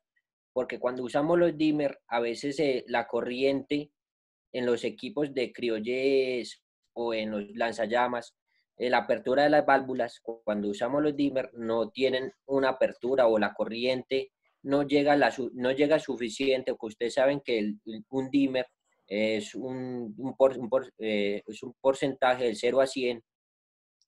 Cuando abra el 50, entonces la corriente no está pasando suficiente para abrir una válvula como, como pasa en el criolleo o en unas lanzallamas que usan válvulas. Entonces, muy recomendado usar los relay pack. Eh, por ejemplo, cuando está eh, en la industria de los efectos, eh, empezaron empezamos a usar DMX. Muchos artistas o operadores de efectos especiales nos decían, no, es que no reaccionan suficientemente rápido los equipos o el, el computador o la interfaz que tengamos era porque estábamos usando dimmer. Eso nos, pasa, nos pasó mucho. Y pues en, la, en lo DMX pues se puede usar cualquier software. Ahorita no, eh, Miguel Sanabria y nosotros acá estamos usando ONIS, pero se puede usar cualquiera y estamos usando una tableta para mapear los queues.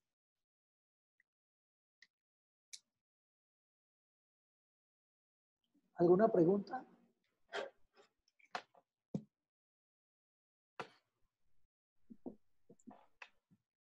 ¿Estamos claros hasta ahí?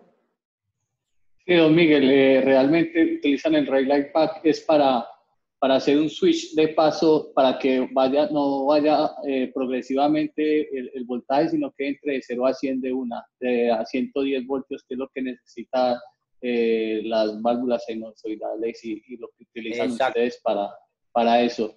Y bueno, y, lo, de la programación de MX, ya pues con cualquier programa que utilicen y, lo utilizan es por Onyx porque saben mapear la tableta vía MIDI.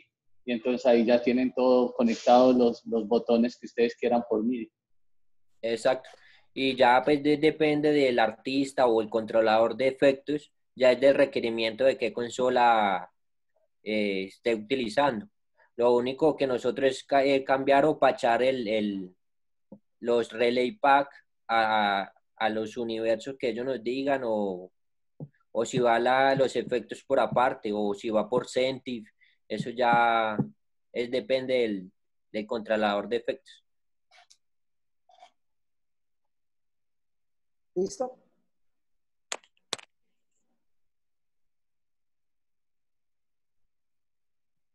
Bueno, gracias, Hospi. Eh, Continuamos con, ya habíamos pasado la, lo indoor. Eh, voy a hablarles un momentico, adelantico, de lo exterior. nosotros hacemos eh, shows también de pirotecnia exterior. Trabajamos con carcasas, con tortas, candelas romanas, minas. Eso es el más, lo más fuerte que nosotros trabajamos. Con eso hacemos secuencias, con eso hacemos shows pequeños, para bodas, 15 años, o hacemos shows grandes, pero musicales. Eh, las carcasas las utilizamos desde 2 pulgadas, 2.5, 3, 4, hasta 6 pulgadas. Las tortas las trabajamos profesionales o trabajamos tortas eh, sencillas. Las candelas romanas las trabajamos de diferentes tiros, de 8 disparos, de 6 disparos y de, acuerdo a las pulgadas. Las minas también las trabajamos de acuerdo eh, al diámetro. si son de 2 pulgadas, 2.5 o si son de una pulgada. Eso son lo que nosotros eh, manejamos. Eh, todo eso lo utilizamos con este tipo de cables para hacer nuestros montajes, que es el cable duple 18 polarizado, que es un cable económico, pero para, para montajes sencillos. El cable duple número 16, que es el blanco, que es con el que nosotros hacemos todo la unión de los módulos de la Fire One.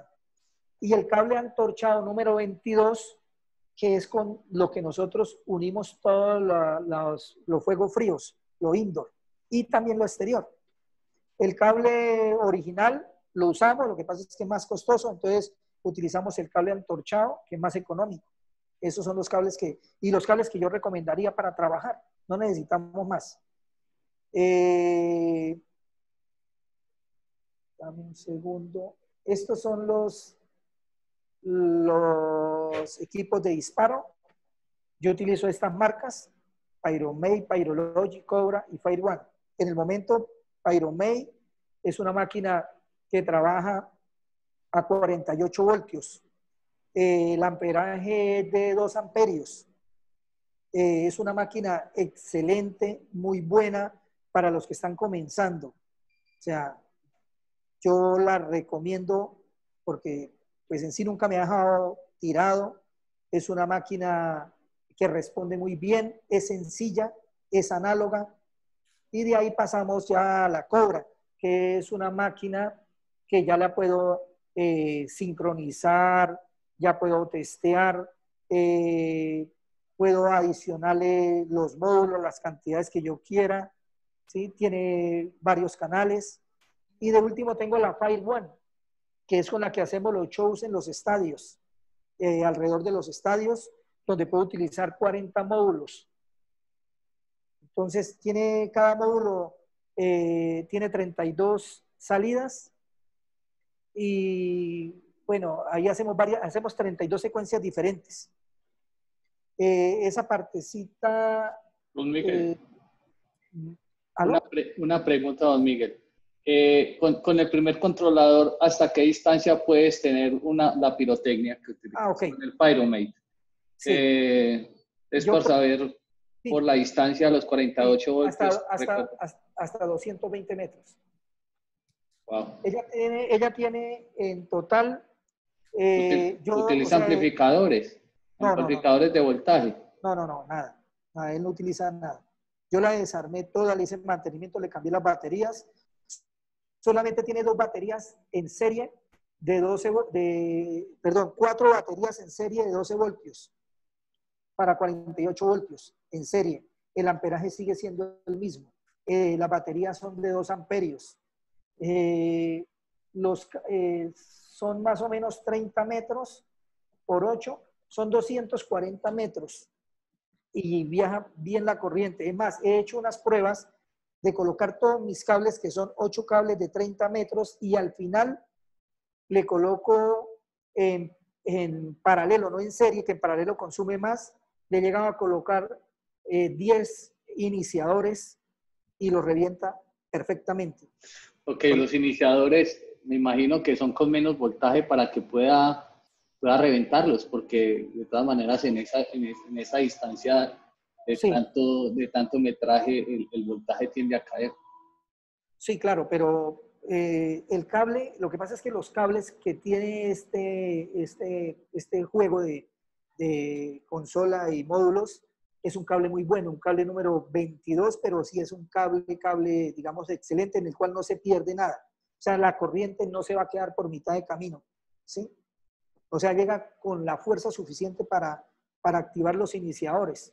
Ahora, los iniciadores, un iniciador bueno es que no supere eh, 1.6 ohmios, ¿sí? Un iniciador bueno. O sea, ya se pasa de ahí del rango de los dos para arriba y ya puede ser un iniciador que no puede reventar, eh, un iniciador que ya tiene defectos. Eh, eh, eso se ve mucho es a la fábrica a la cual uno le compre los productos, los iniciadores, porque hay muchas veces que les aplican demasiado estaño y lo que hacen es bloquearlos. O sea, no revientan ni con 110. Entonces, nosotros sufrimos muchos años y hemos sufrido es porque los productos que nosotros compramos, a veces los iniciadores son muy malos. Y a veces uno coloca seis fuentes y salen cinco y la otra no salió y uno mira el iniciador y el iniciador está bueno. Resulta que tal vez tiene mucho miaje y no lo deja reventar. ¿sí? Eso es lo que nos ha pasado. Y usted lo testea y en el testeo está perfectamente, está bien. O sea, si usted, por ejemplo, le pasa un testeo, sea manual o sea un testeo con la misma consola, ella funciona que está bueno, pero no va a reventar. ¿sí? Eh, ese, ese, control es, eh, el Pyromey es muy bueno por el, bueno, el amperaje nomás son 2 amperios, pero el voltaje son 48 voltios, ahí es como una mezcla entre los dos, ¿no? Porque muchas veces si tiene 12 voltios y el amperaje es muy pequeño, no hace nada. Entonces aquí lo que hacemos es colocarle muchísimo voltaje, que son 48 voltios, pero a 2 amperios. Y están las dos en paralelo.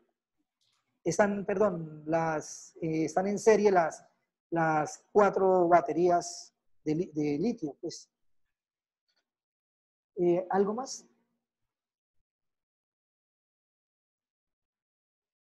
Juanca. ¿Algo más? No, no, señora, sí está bien. Ok, bueno, eh, este es un esquema de cómo funciona un control y unos módulos Fire One, ¿sí? Esta es una de las, de las de los mejores equipos a nivel mundial, ¿no?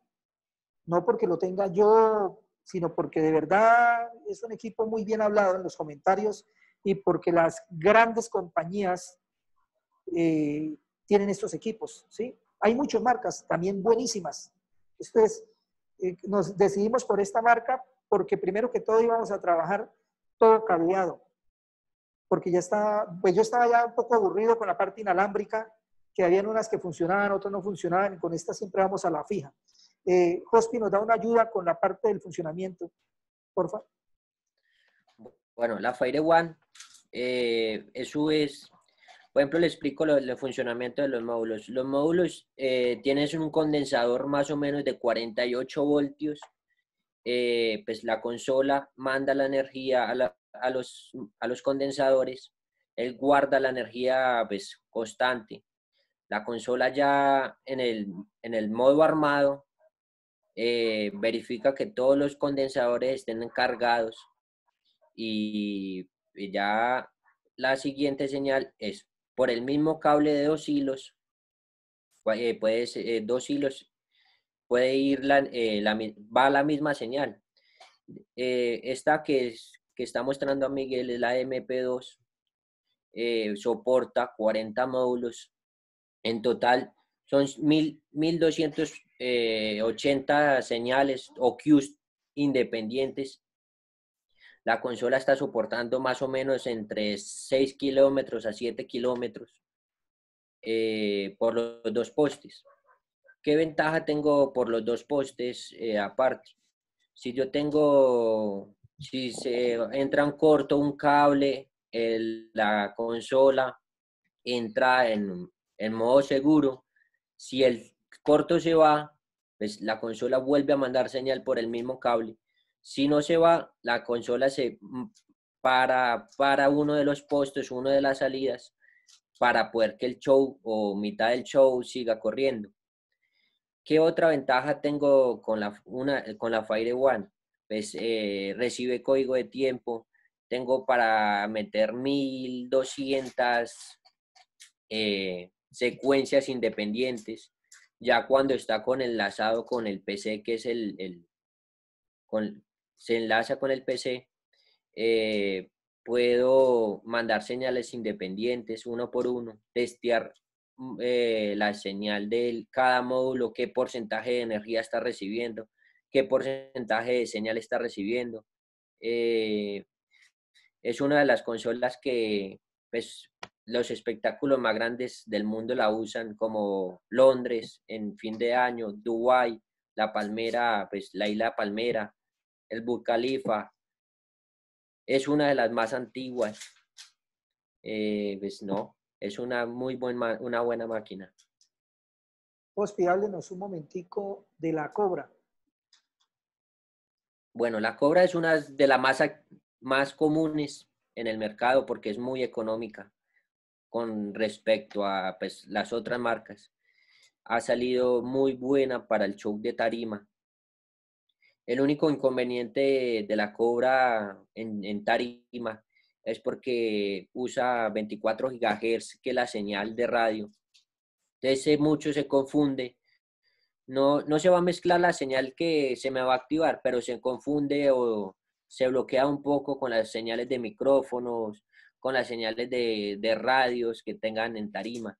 Entonces, eh, pues uno sugiere que coloquemos amplificadores de señal eh, en los módulos. Eh, otra, otra recomendación que he visto muchos en operadores de efectos que encienden el módulo faltando dos, tres minutos para subirse el artista. Lo que pasa es que el control con los módulos, eh, el, el control se le manda una señal y la señal se estabiliza. Si yo apago y enciendo el módulo muy rápidamente y activo el Q, el Q no, hay Qs que se van a salir, hay Qs que no va a salir o no sale ningún Q. Entonces la recomendación es 10 minutos antes, 5 minutos antes, usted arman el control. El por qué es para poder que esa señal se estabilice. Otra recomendación que he visto mucho es que disparan un Q y desarman el control. Al desarmar usted el control pasa lo mismo, usted va a perder señal eh, o a mandar más energía a los, a los módulos. Entonces los módulos como, como el control están eh, utilizando mucha energía. Entonces hay veces que dicen, no, se me están descargando las baterías, eh, usted disparó el Q y no le salió porque pues, pueda que en los, en los módulos, como en el control, hay mucha, hay pérdida de control, P de señal, perdón. Eh, otra recomendación, pues ya hay mucha, eh, pues al, al, al, sistema le actualizaron el, el de las baterías que me parece fenomenal porque usted puede usar eh, como tanto la batería de 9 voltios, la del Kicker trae una batería de 14.8 voltios, o ya por sistema aparte o de, con, corriente continua, eh, compran un cargador, una batería más grande y, y tiene una batería, energía constante. Sí, un adaptador para dejarlo prendido durante todo el show y no va a tener usted Exacto. problemas. Eh, actualmente, pues el control como tal no tiene actualización de, batería, pues hay un control más grande o una actualización de control eh, que trae una batería de 15, 15 amperios. Pues eh, la, supuestamente la teoría me da para 50 horas constante de show en armado. No sé qué, qué preguntas tengan sobre Cobra. Eh, pues actualmente la última, ah, la actualización de Cobra tiene el sistema de RedMax que un, un, módulo le comparte señal al otro módulo, entonces hay una mejora de señal. Entonces cada módulo se vuelve un repetidor de señal. Ya no sé qué preguntas tengan. Miguel, vuelve a compartir la pantalla, por favor. ¿Cómo? Eh, vuelve a compartir tu pantalla. Eh, pregunta, eh, una pregunta. ¿eso, ¿Eso tiene dirección IP? Yo no sé, yo sé poco de, de, de, En, el, en, este, en el sistema Cobra no tiene dirección IP. Solo manda una dirección, como decir, yo le coloco una dirección a, a una cabeza móvil, como decir la 1, entonces la 1 tiene 18 canales, pues en Cobra son 18 canales. Para yo eh, independizar, cojo otro módulo y lo pongo en el número 2. Y así sucesivamente el, sistema tiene 100 canales independientes. O sea que cada control 18R o 18R2 me soporta 1800 Qs independientes. ya otro, otra, pues, por el sistema automático, eh, cobra, tengo que respetarle un, límite de, de, tiempo que es en 1 en 10. Hay unos que ya pues vienen en 1 en 100 milésimas de segundo.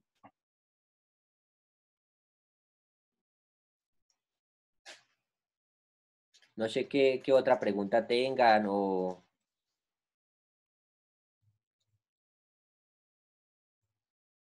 Una preguntita. Señor. Eh, ¿Tú qué sabes del último sistema que acaba de lanzar Cobra que viene con la tablet? Eh, que eh. trabaja en la recepción con ese detonador. ¿Cómo, ¿Ese viene siendo un R2 o eso qué viene siendo?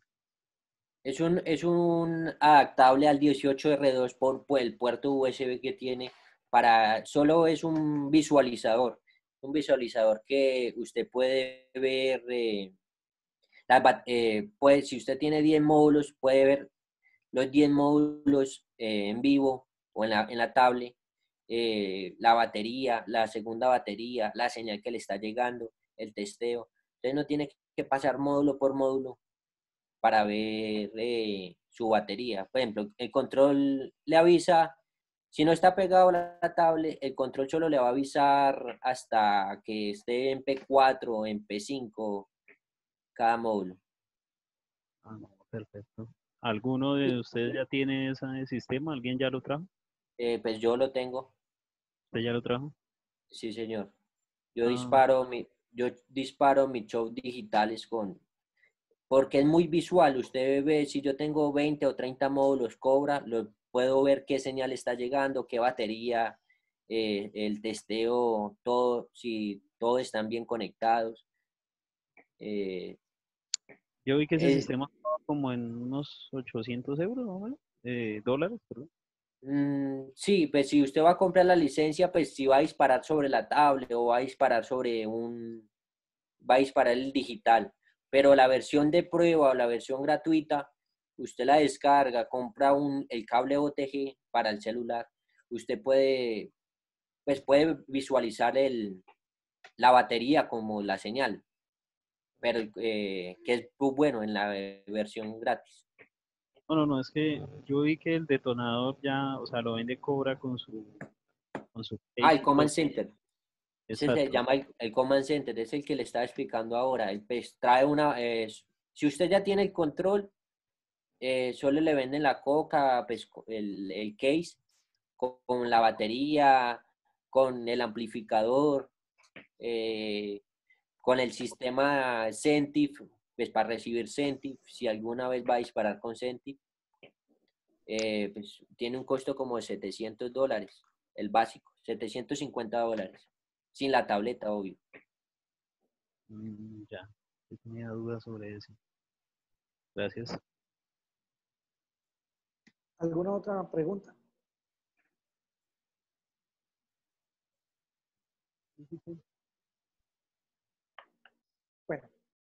Esto es importante eh, que tengamos, eh, pues para los shows, eh, siguientes equipos para, para poder medir la distancia, ¿no? Lo que es un láser, un odómetro, un decámetro, ¿no? Porque de eso depende la distribución o la cantidad de cable que yo voy a usar para no pasarme de, de la cantidad de cable, ¿no? Aunque ese problema no lo voy a tener, por ejemplo, con, con la Fire One, pero es importante tener esas medidas. El láser me sirve para las alturas, eh, cuando estoy en escenario. El decámetro para darle la vuelta a un estadio, ¿no? Y saber dónde voy a instalar los puntos o cómo los voy a distribuir, ¿sí? Es importante tener eso. La otra parte importante, eh, aparte de que los equipos, las consolas tienen esto, un testeo, es importante tener un testeo manual. Yo manejo estos, estos dos. Bueno, este es un original y este segundo es uno de los cuales hemos fabricado porque como lo viven botando, se pierden, pues es económico. Y ahí les envío una fotico eh, que está fabricado con una batería pequeña de 3 voltios y tienen un bombillito LED y eso está en, en serie. Lo cual, eh, cuando yo lo... Sí. No se le ve la pantalla. ¿Pero cuál pantalla? La del PC. Ah, Ahí se ve, ¿no? No, señor. Espere. Ahora no sé qué pasó. Yo estaba hablando con Juan precisamente de eso.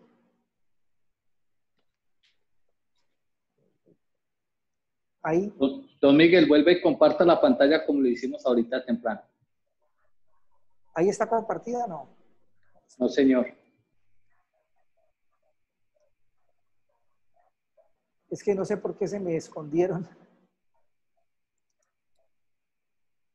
Ah, espere, espere.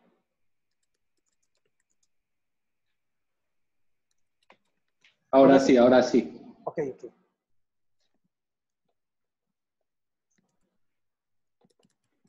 Dame un segundo.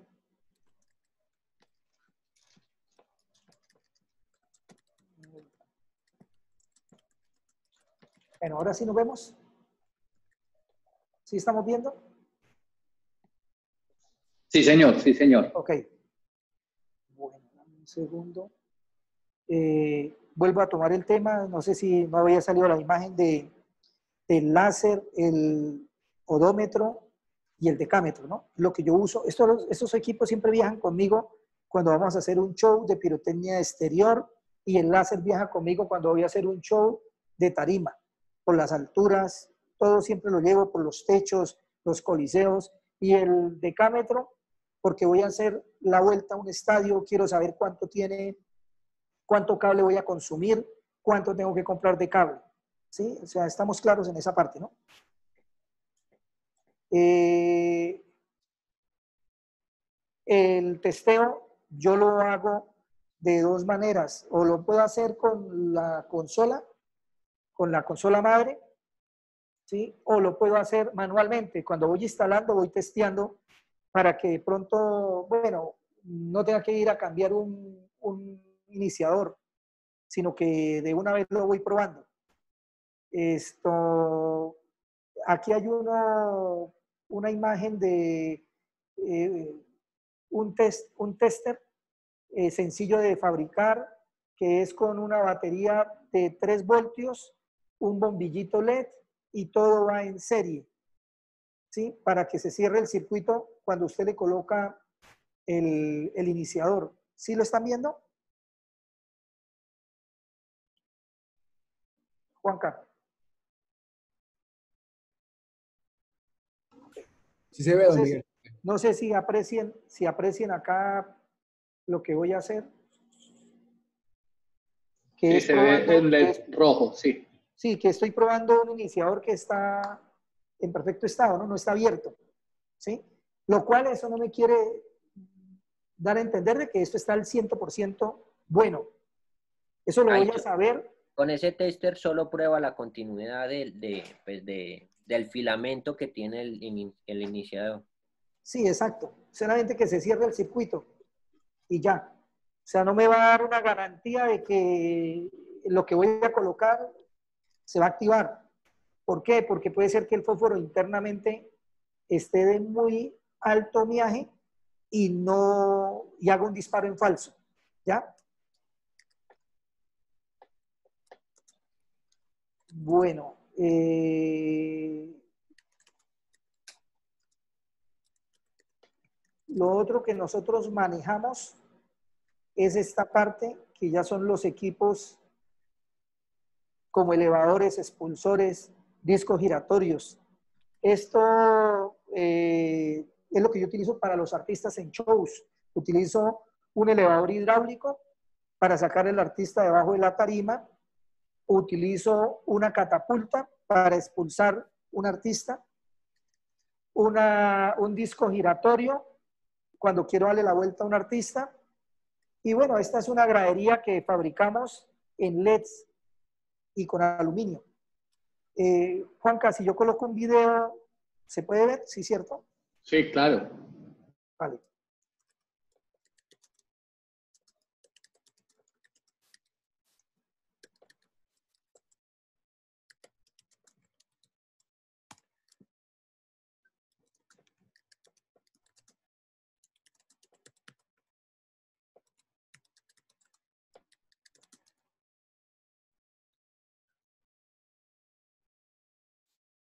Allá. Bueno, esa es una catapulta, ¿no?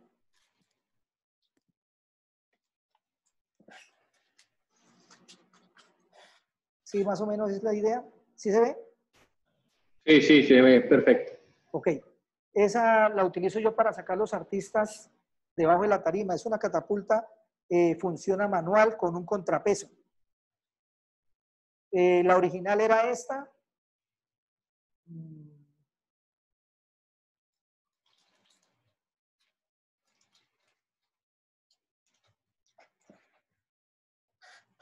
Eh, ¿Cómo manejan los pesos con esas, con la salida del artista? tengo que saber, tengo que tener una idea de más o menos cuál es el peso del artista o la persona que vaya a salir expulsada. ¿La altura también influye con eso? No. Mira, aquí ya está, por ejemplo, saliendo en tarima,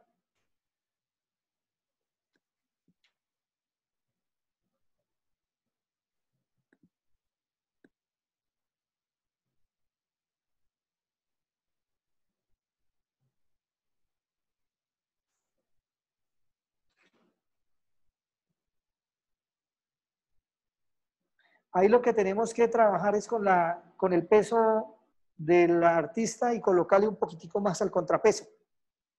¿Sí? Para, no hacer mayor fuerza. El resto de la fuerza se la hacemos nosotros para expulsarlo. Eh, esos equipos ya los, o sea, nosotros los fabricamos pues para nuestros shows. Y está lo que son ya los elevadores hidráulicos.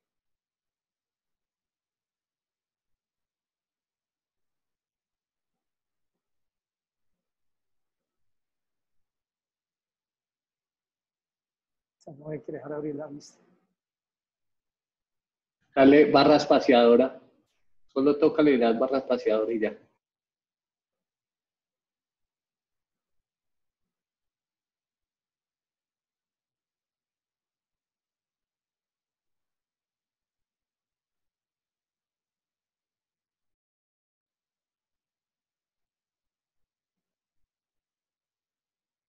Me está, me está jodiendo tal vez el, el equipo. Cuando seleccionas el archivo, solo le das barra espaciadora y te la abre.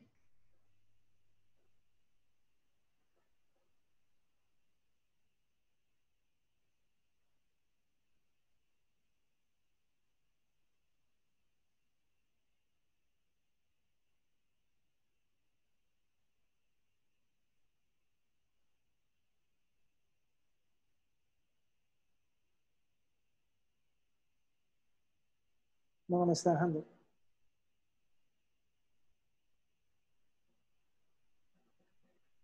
Bueno, muchachos, no sé, ¿tendrán alguna pregunta o quiere que retomemos un tema de atrás, alguna duda? ¿Algo?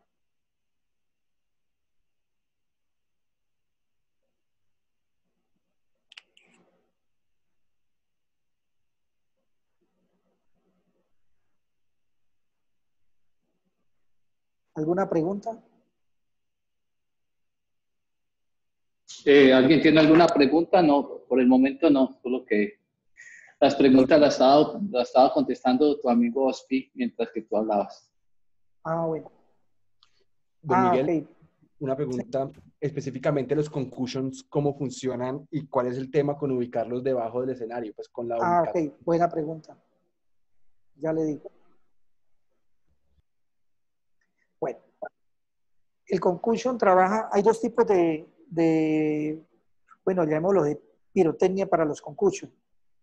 Eh, si es de la marca Pyropack o la marca Next, tienen dos componentes, A y B, que se mezclan, porque solos no van a funcionar, hay que mezclarlos. Este que está viendo en pantalla ya viene listo. Eh, ¿Por qué tengo que colocarlo debajo de tarima y no colocarlo encima de tarima? Primero, el, el golpe es muy fuerte, ¿no? Y lo otro, lo peligroso cuando los coloca uno encima de tarima o los coloca frente al escenario, cuando está en el espacio entre el vallado y la tarima, es que a lo que él se acciona del el cablecito del iniciador, pueden salir esquirlas.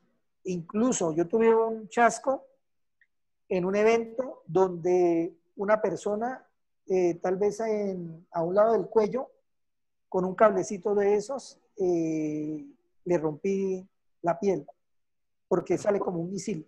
Entonces, por seguridad, yo prefiero meterlo debajo de la tarima. ¿Sí? Ahora, la cantidad de, de pirotecnia que le tengo que aplicar son esto, dos tapitas, si es para un sitio pequeño. Si ya es un sitio grande, eh, como un coliseo, y donde se pierde por el mismo sonido, yo le aplico tres tapitas o cuatro tapitas. Los concussion que están al lado más pequeños, eso los utilizo como de destellos. Les aplico menos, menos eh, pólvora para que solamente boten la chispa. ¿ya?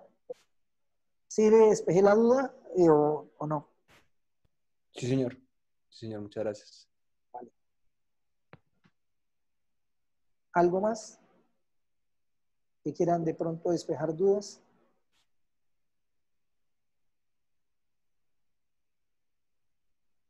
No, no hay nada más de preguntas. Eh, bueno, eh, ¿alguna otra recomendación o algo que tengan por ahí para que aprovechemos a este gran maestro de la pirotecnia, don Miguel? o si quieren saber de algo más, más puntual con respecto a los shows, eh, a secuencias. Claro, don Iván, don Iván, intervenga, por favor, prosiga. Podemos aprovechar que está Hospi, que lo tengo ahí, y él les puede despejar muchas dudas también, ¿no? Que ya es la parte de programación, ¿no? Ok, ahí me escucha, Juancho. Sí, señor. Gracias. Buenas tardes a todos. Buenas tardes. Eh, bueno, primero que todo, felicitar a mis compadres allá que hemos tenido la oportunidad aquí en Barranquilla de trabajar con ellos y ser protagonistas de su buen trabajo, sobre todo en la parte de seguridad, ¿no? Que es la parte que más, más, más nos interesa a nosotros como los productores. Eh, una de mis preguntas es, eh, ¿está contemplado, así como nosotros tenemos Stage Plot, Impulse, mapa de luces, plano de luces, ¿está contemplado o ya alguien maneja el montaje de la pirotecnia a nivel de planos o diagrama? Hospi, con la programación que hace con el final. Eh, pues por parte de programación, eh, pues eh, musicales como tal o secuencias ya programadas está el, el, el finale, Firo Wars, el show script, script maker, Cobra Creator, eh, ellos votan un plano, pues usted hace su diseño con sus tiempos, pues hay unos que son eh, visuales, otros que son más digitales, eh, votan un plano de, conexiones. Ya como, como rider para de cómo se va a montar en tarima, hay productores que ya le envían el rider con cómo va instalado la pirotecnia o sus máquinas como tal. Ok, listo. Y la otra pregunta para nosotros es, vamos a hablar algo del tema normativo de seguridad. Eh, para nosotros productores siempre es el tema este de la normativa y seguridad, distancias, prevención, todo eso, sobre todo la pelea con los bomberos y con los que hacen los permisos. Eh, ¿Podríamos hablar de ese tema para nosotros? Sí, claro. Pues eh, mira, vea, en cada región, pues acá en Colombia hay una ley, pues no sé si la conozcan, es la ley 670, pues que regula, o la 4481 que regula la pirotecnia en Colombia, eh, pero cada región se, regula con sus decretos. En Bogotá pues, tiene su, su, su protocolo, Barranquilla tiene su protocolo, pues acá en mi ciudad es otro protocolo entonces es bien complicado tener un protocolo estándar. Pues uno tiene, pues tenemos un protocolo estándar, pero la documentación en cada ciudad es muy diferente. Pues hay unas que otras que, que sí se pega a ejemplar de una a la otra, pero son muy diferentes el protocolo. ¿Cuál será ese estándar como para hablar aquí entre todos nosotros? Por ejemplo, le hablo de la ciudad de Bogotá. Pues en la ciudad de Bogotá eh, para usted operar en Bogotá, pues tiene que sacar un, curso de, bomberos, que es eh, uso de extintores, primeros auxilios, eh, manejo saber eh, riesgos, el plano de, de, realizar su show, cómo se va a transportar. Eh, sin, ese, sin ese carnet, usted no lo, no lo dejan operar en la ciudad de Bogotá como tal pirotecnia y efectos. O sea, o sea, lo que quiere decir Hospi es que en Bogotá es la única ciudad de Colombia, por ser distrito capital, que no permite los cursos fuera de esa ciudad. O sea, es necesario en Bogotá hacer una capacitación con bomberos sobre la manipulación de pirotecnia y el transporte de, pirotecnia y montaje. Así usted lleve las capacitaciones que lleve, eh, no, se las, no se las van a aprobar. Tiene que hacer la capacitación allá en la ciudad de Bogotá. Eh, que no estoy de acuerdo porque debería de ser a nivel nacional, o sea, regular a nivel nacional, ¿no? Pero esas son las reglas allá. Eh, en Medellín no hay tanto problema, hay que sacar los permisos normales. Las ciudades más complicaditas para todo son Medellín, Bogotá, Cali y en Medellín está el municipio de Itagüí, que también es delicado. Eh, y en la zona donde nosotros vivimos, que es en los Santanderes, lo que es Florida Blanca, también hay que sacar permiso hasta para manipular CO2. O sea, en Bogotá hay que sacar permiso hasta para manipular CO2 o para instalar un Venturi siempre y cuando el evento vaya con permisos hay que tener las capacitaciones, porque usted lo ve tan sencillo que dice, bueno, pero ¿qué es abrir la botella al CO2, meter el papel y expulsarlo? Para ellos esto es riesgoso, ¿no? Entonces, eh, bueno, yo estaría más bien de acuerdo de que si hago una capacitación, me la valgan en cualquier ciudad y no tenga que repetirla otra vez en Bogotá. Y lo que pasa es que, por ejemplo, si a mí me contrata como freelance una empresa, yo tengo que tener las capacitaciones con esa empresa. Y si me contrata otra empresa que le voy a trabajar, porque yo soy el que voy a hacer los shows o instalación, también tengo que sacar eh, con esa otra empresa los, eh, las capacitaciones. Mejor dicho, tiene que usted tener en Bogotá, si trabaja de freelance tiene que tener como unos 10 carnés. Por cada empresa un carné. Cuando yo he hablado siempre que por qué no es uno para todos, pero ellos dicen que no. Que por ser la capital se rigen por esas normas. ¿Alguna otra pregunta? Eh, don Miguel, tema consumo de corriente para tenerlo en cuenta. Uno normalmente siempre lo recibe y los manda a pegarse o al de la planta de luces normalmente. ¿Qué recomendaciones tienen ustedes como para producción general? ¿Dónde conectarse ustedes? ¿Qué consumo de corriente tienen como para empezar a meterlo dentro del plan de producción a la pirotecnia? Bueno, está bien. Eh, el consumo de nosotros es muy mínimo. ¿Por qué? Bueno, a menos de que llevemos máquinas de humo bajo, ¿sí? Eh, que consumen 1500 vatios, que son más o menos como unos 15 amperios pero relativamente, por ejemplo, muchas veces no nos dejan conectar criogel, lanzallamas, cuando esos son válvulas que no superan los 20 vatios. O sea que, perfectamente nos pueden dar de una subestación de, de, un distro de luces, nos pueden estar regalando corriente. Nosotros nunca pedimos que nos den del sonido ni, de la, ni el video, pero sí perfectamente de luces nos pueden regalar, cualquiera nos puede regalar eh, corriente digámoslo así. El consumo de nosotros es muy pequeño, eh, a menos, vuelvo y le digo, de que llevemos máquinas de humo o a menos de que llevemos, por ejemplo, esos elevadores hidráulicos que ya trabajan a 220 y, y van a consumir. Ya tienen motores de 5 caballos, 4 caballos. Pero sí, sí de pronto dejarnos como un distro y no necesitamos el distro completo, necesitamos, es como las tres saliditas del distro independientes y nosotros nos defendemos con eso. O sea, eh, para que siempre lo tengan en cuenta, porque siempre va a ser el problema en la corriente. ¿sí? Y a veces nos piden sacar corriente de una planta y la planta está a 50 metros cuando yo voy a utilizar eh, muy poco amperaje. Yo creo que no voy a utilizar mm, ni más de eh, total 20 amperios, digamos, exagerado, y quieren que yo vaya y saque corriente desde la planta. ¿Sí? O sea, sí que nos tengan en cuenta en esa parte, eso está muy bien. Gracias, don Miguel. Ok. Oiga, don Miguel, ya que tocó el tema, aquí en Barranquilla tenemos un reto y se lo pongo a todos los que estamos acá, y es el famoso humo bajo. Don Miguel ha logrado hacer nubes de humo bajo aquí en Teatro Cerrado. En Teatro Cerrado, sí.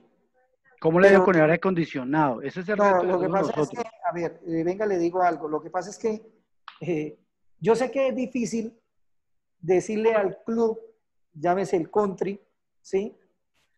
Apague el aire porque voy a botar el humo bajo. Eso no es difícil, don Miguel, eso es casi un pecado aquí en Barranquilla, usted lo sabe. no, no, no, no, yo lo entiendo, pero hablemos de, bueno, de cualquier ciudad, en cualquier salón. Eh, yo sé que en Barranquilla sí es un pecado hacer eso, ¿no? Sería ponerlos a, que se zancochen allá.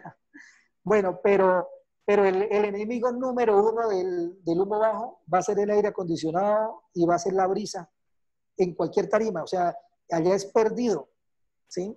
Como, como es perdido, por ejemplo, ir a hacer un montaje en el Romelio con criollés, con lanzallamas, eh, con, las, con los streamers que se le van a ir a las luces, se le van a enredar en todas las móviles. O sea, todo eso puede pasar. Porque muchas veces el aire está corriendo en varias direcciones. Entonces no lo veo como viable esa parte. Eh, si yo puedo acceder a apagar el aire acondicionado en los cinco minutos, sería maravilloso, pero sé que no lo voy a poder hacer. O sea, no, hay por, por más máquina que haya, así no sea hielo seco, así sea una máquina de humo bajo que trabaje con CO2, que el humo sea súper pesado, siempre se lo va a llevar la brisa. Sí, aquí siempre hemos tratado y hemos tenido ese reto hace como tres años en Coronación de la Ceñita Colombia, en Cartagena intentamos con cielo seco, pero es que el tema aire acondicionado es aquí muy difícil hacer eso, ¿no? A veces el empresario no lo entiende y pues viene de Bogotá con la idea y uno dice aquí que aquí es primero el clima, uno muy difícil, dos, el tema de manejo aire acondicionado aquí es un tema serio, ¿no? Sí, claro. Es que, eh, como le digo, el, el enemigo número uno de las máquinas de humo bajo es el aire cualquier, cualquier esto, eh, brisa. Recuerda que las moléculas de humo bajo tienen que ver con frío. Entonces, si todo el frío, si todo el lugar está frío, entonces ese humo va a subir. Por eso es que es humo bajo. Eso trabaja una temperatura de, cierto, de, cierta temperatura para que el humo se sostenga en el piso. Recuerda que el, el frío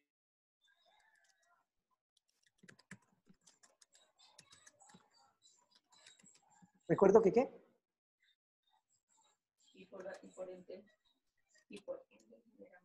Decía Juanca.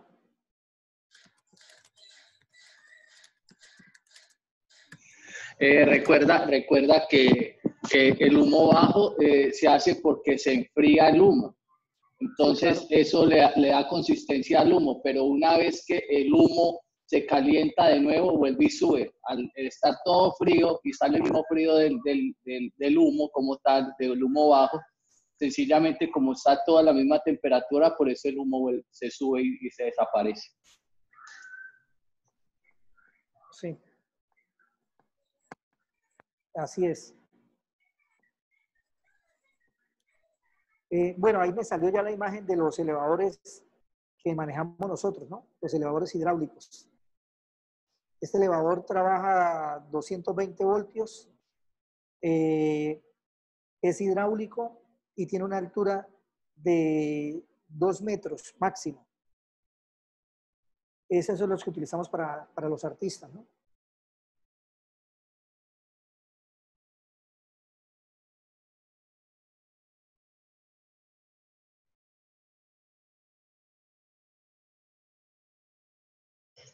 Eh, bueno, si no tienen alguna otra pregunta más al señor Miguel, pues damos eh, para dar por cerrada esta interesante charla con MS Efectos y, y, la invitación del, señor José David Ospina. Eh, si tienen alguna otra pregunta, pues bienvenido sea. Si no, pues darle las gracias por, por compartir este ratico con nosotros. Ah, mira, aquí me salió la tarima giratoria, ¿no? ¿Sí la aprecian? Esa se ve bonito con los mini brutos, como lo hicimos por allá, en un pueblo por allá abajo. Ah, ya, ya, ya. Mocoa. Sí, señor, en Mocoa.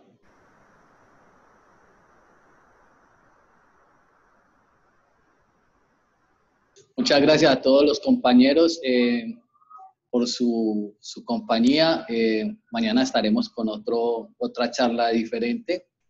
Eh, muchas gracias a todos y que tengan una feliz tarde. Ok, muchas gracias a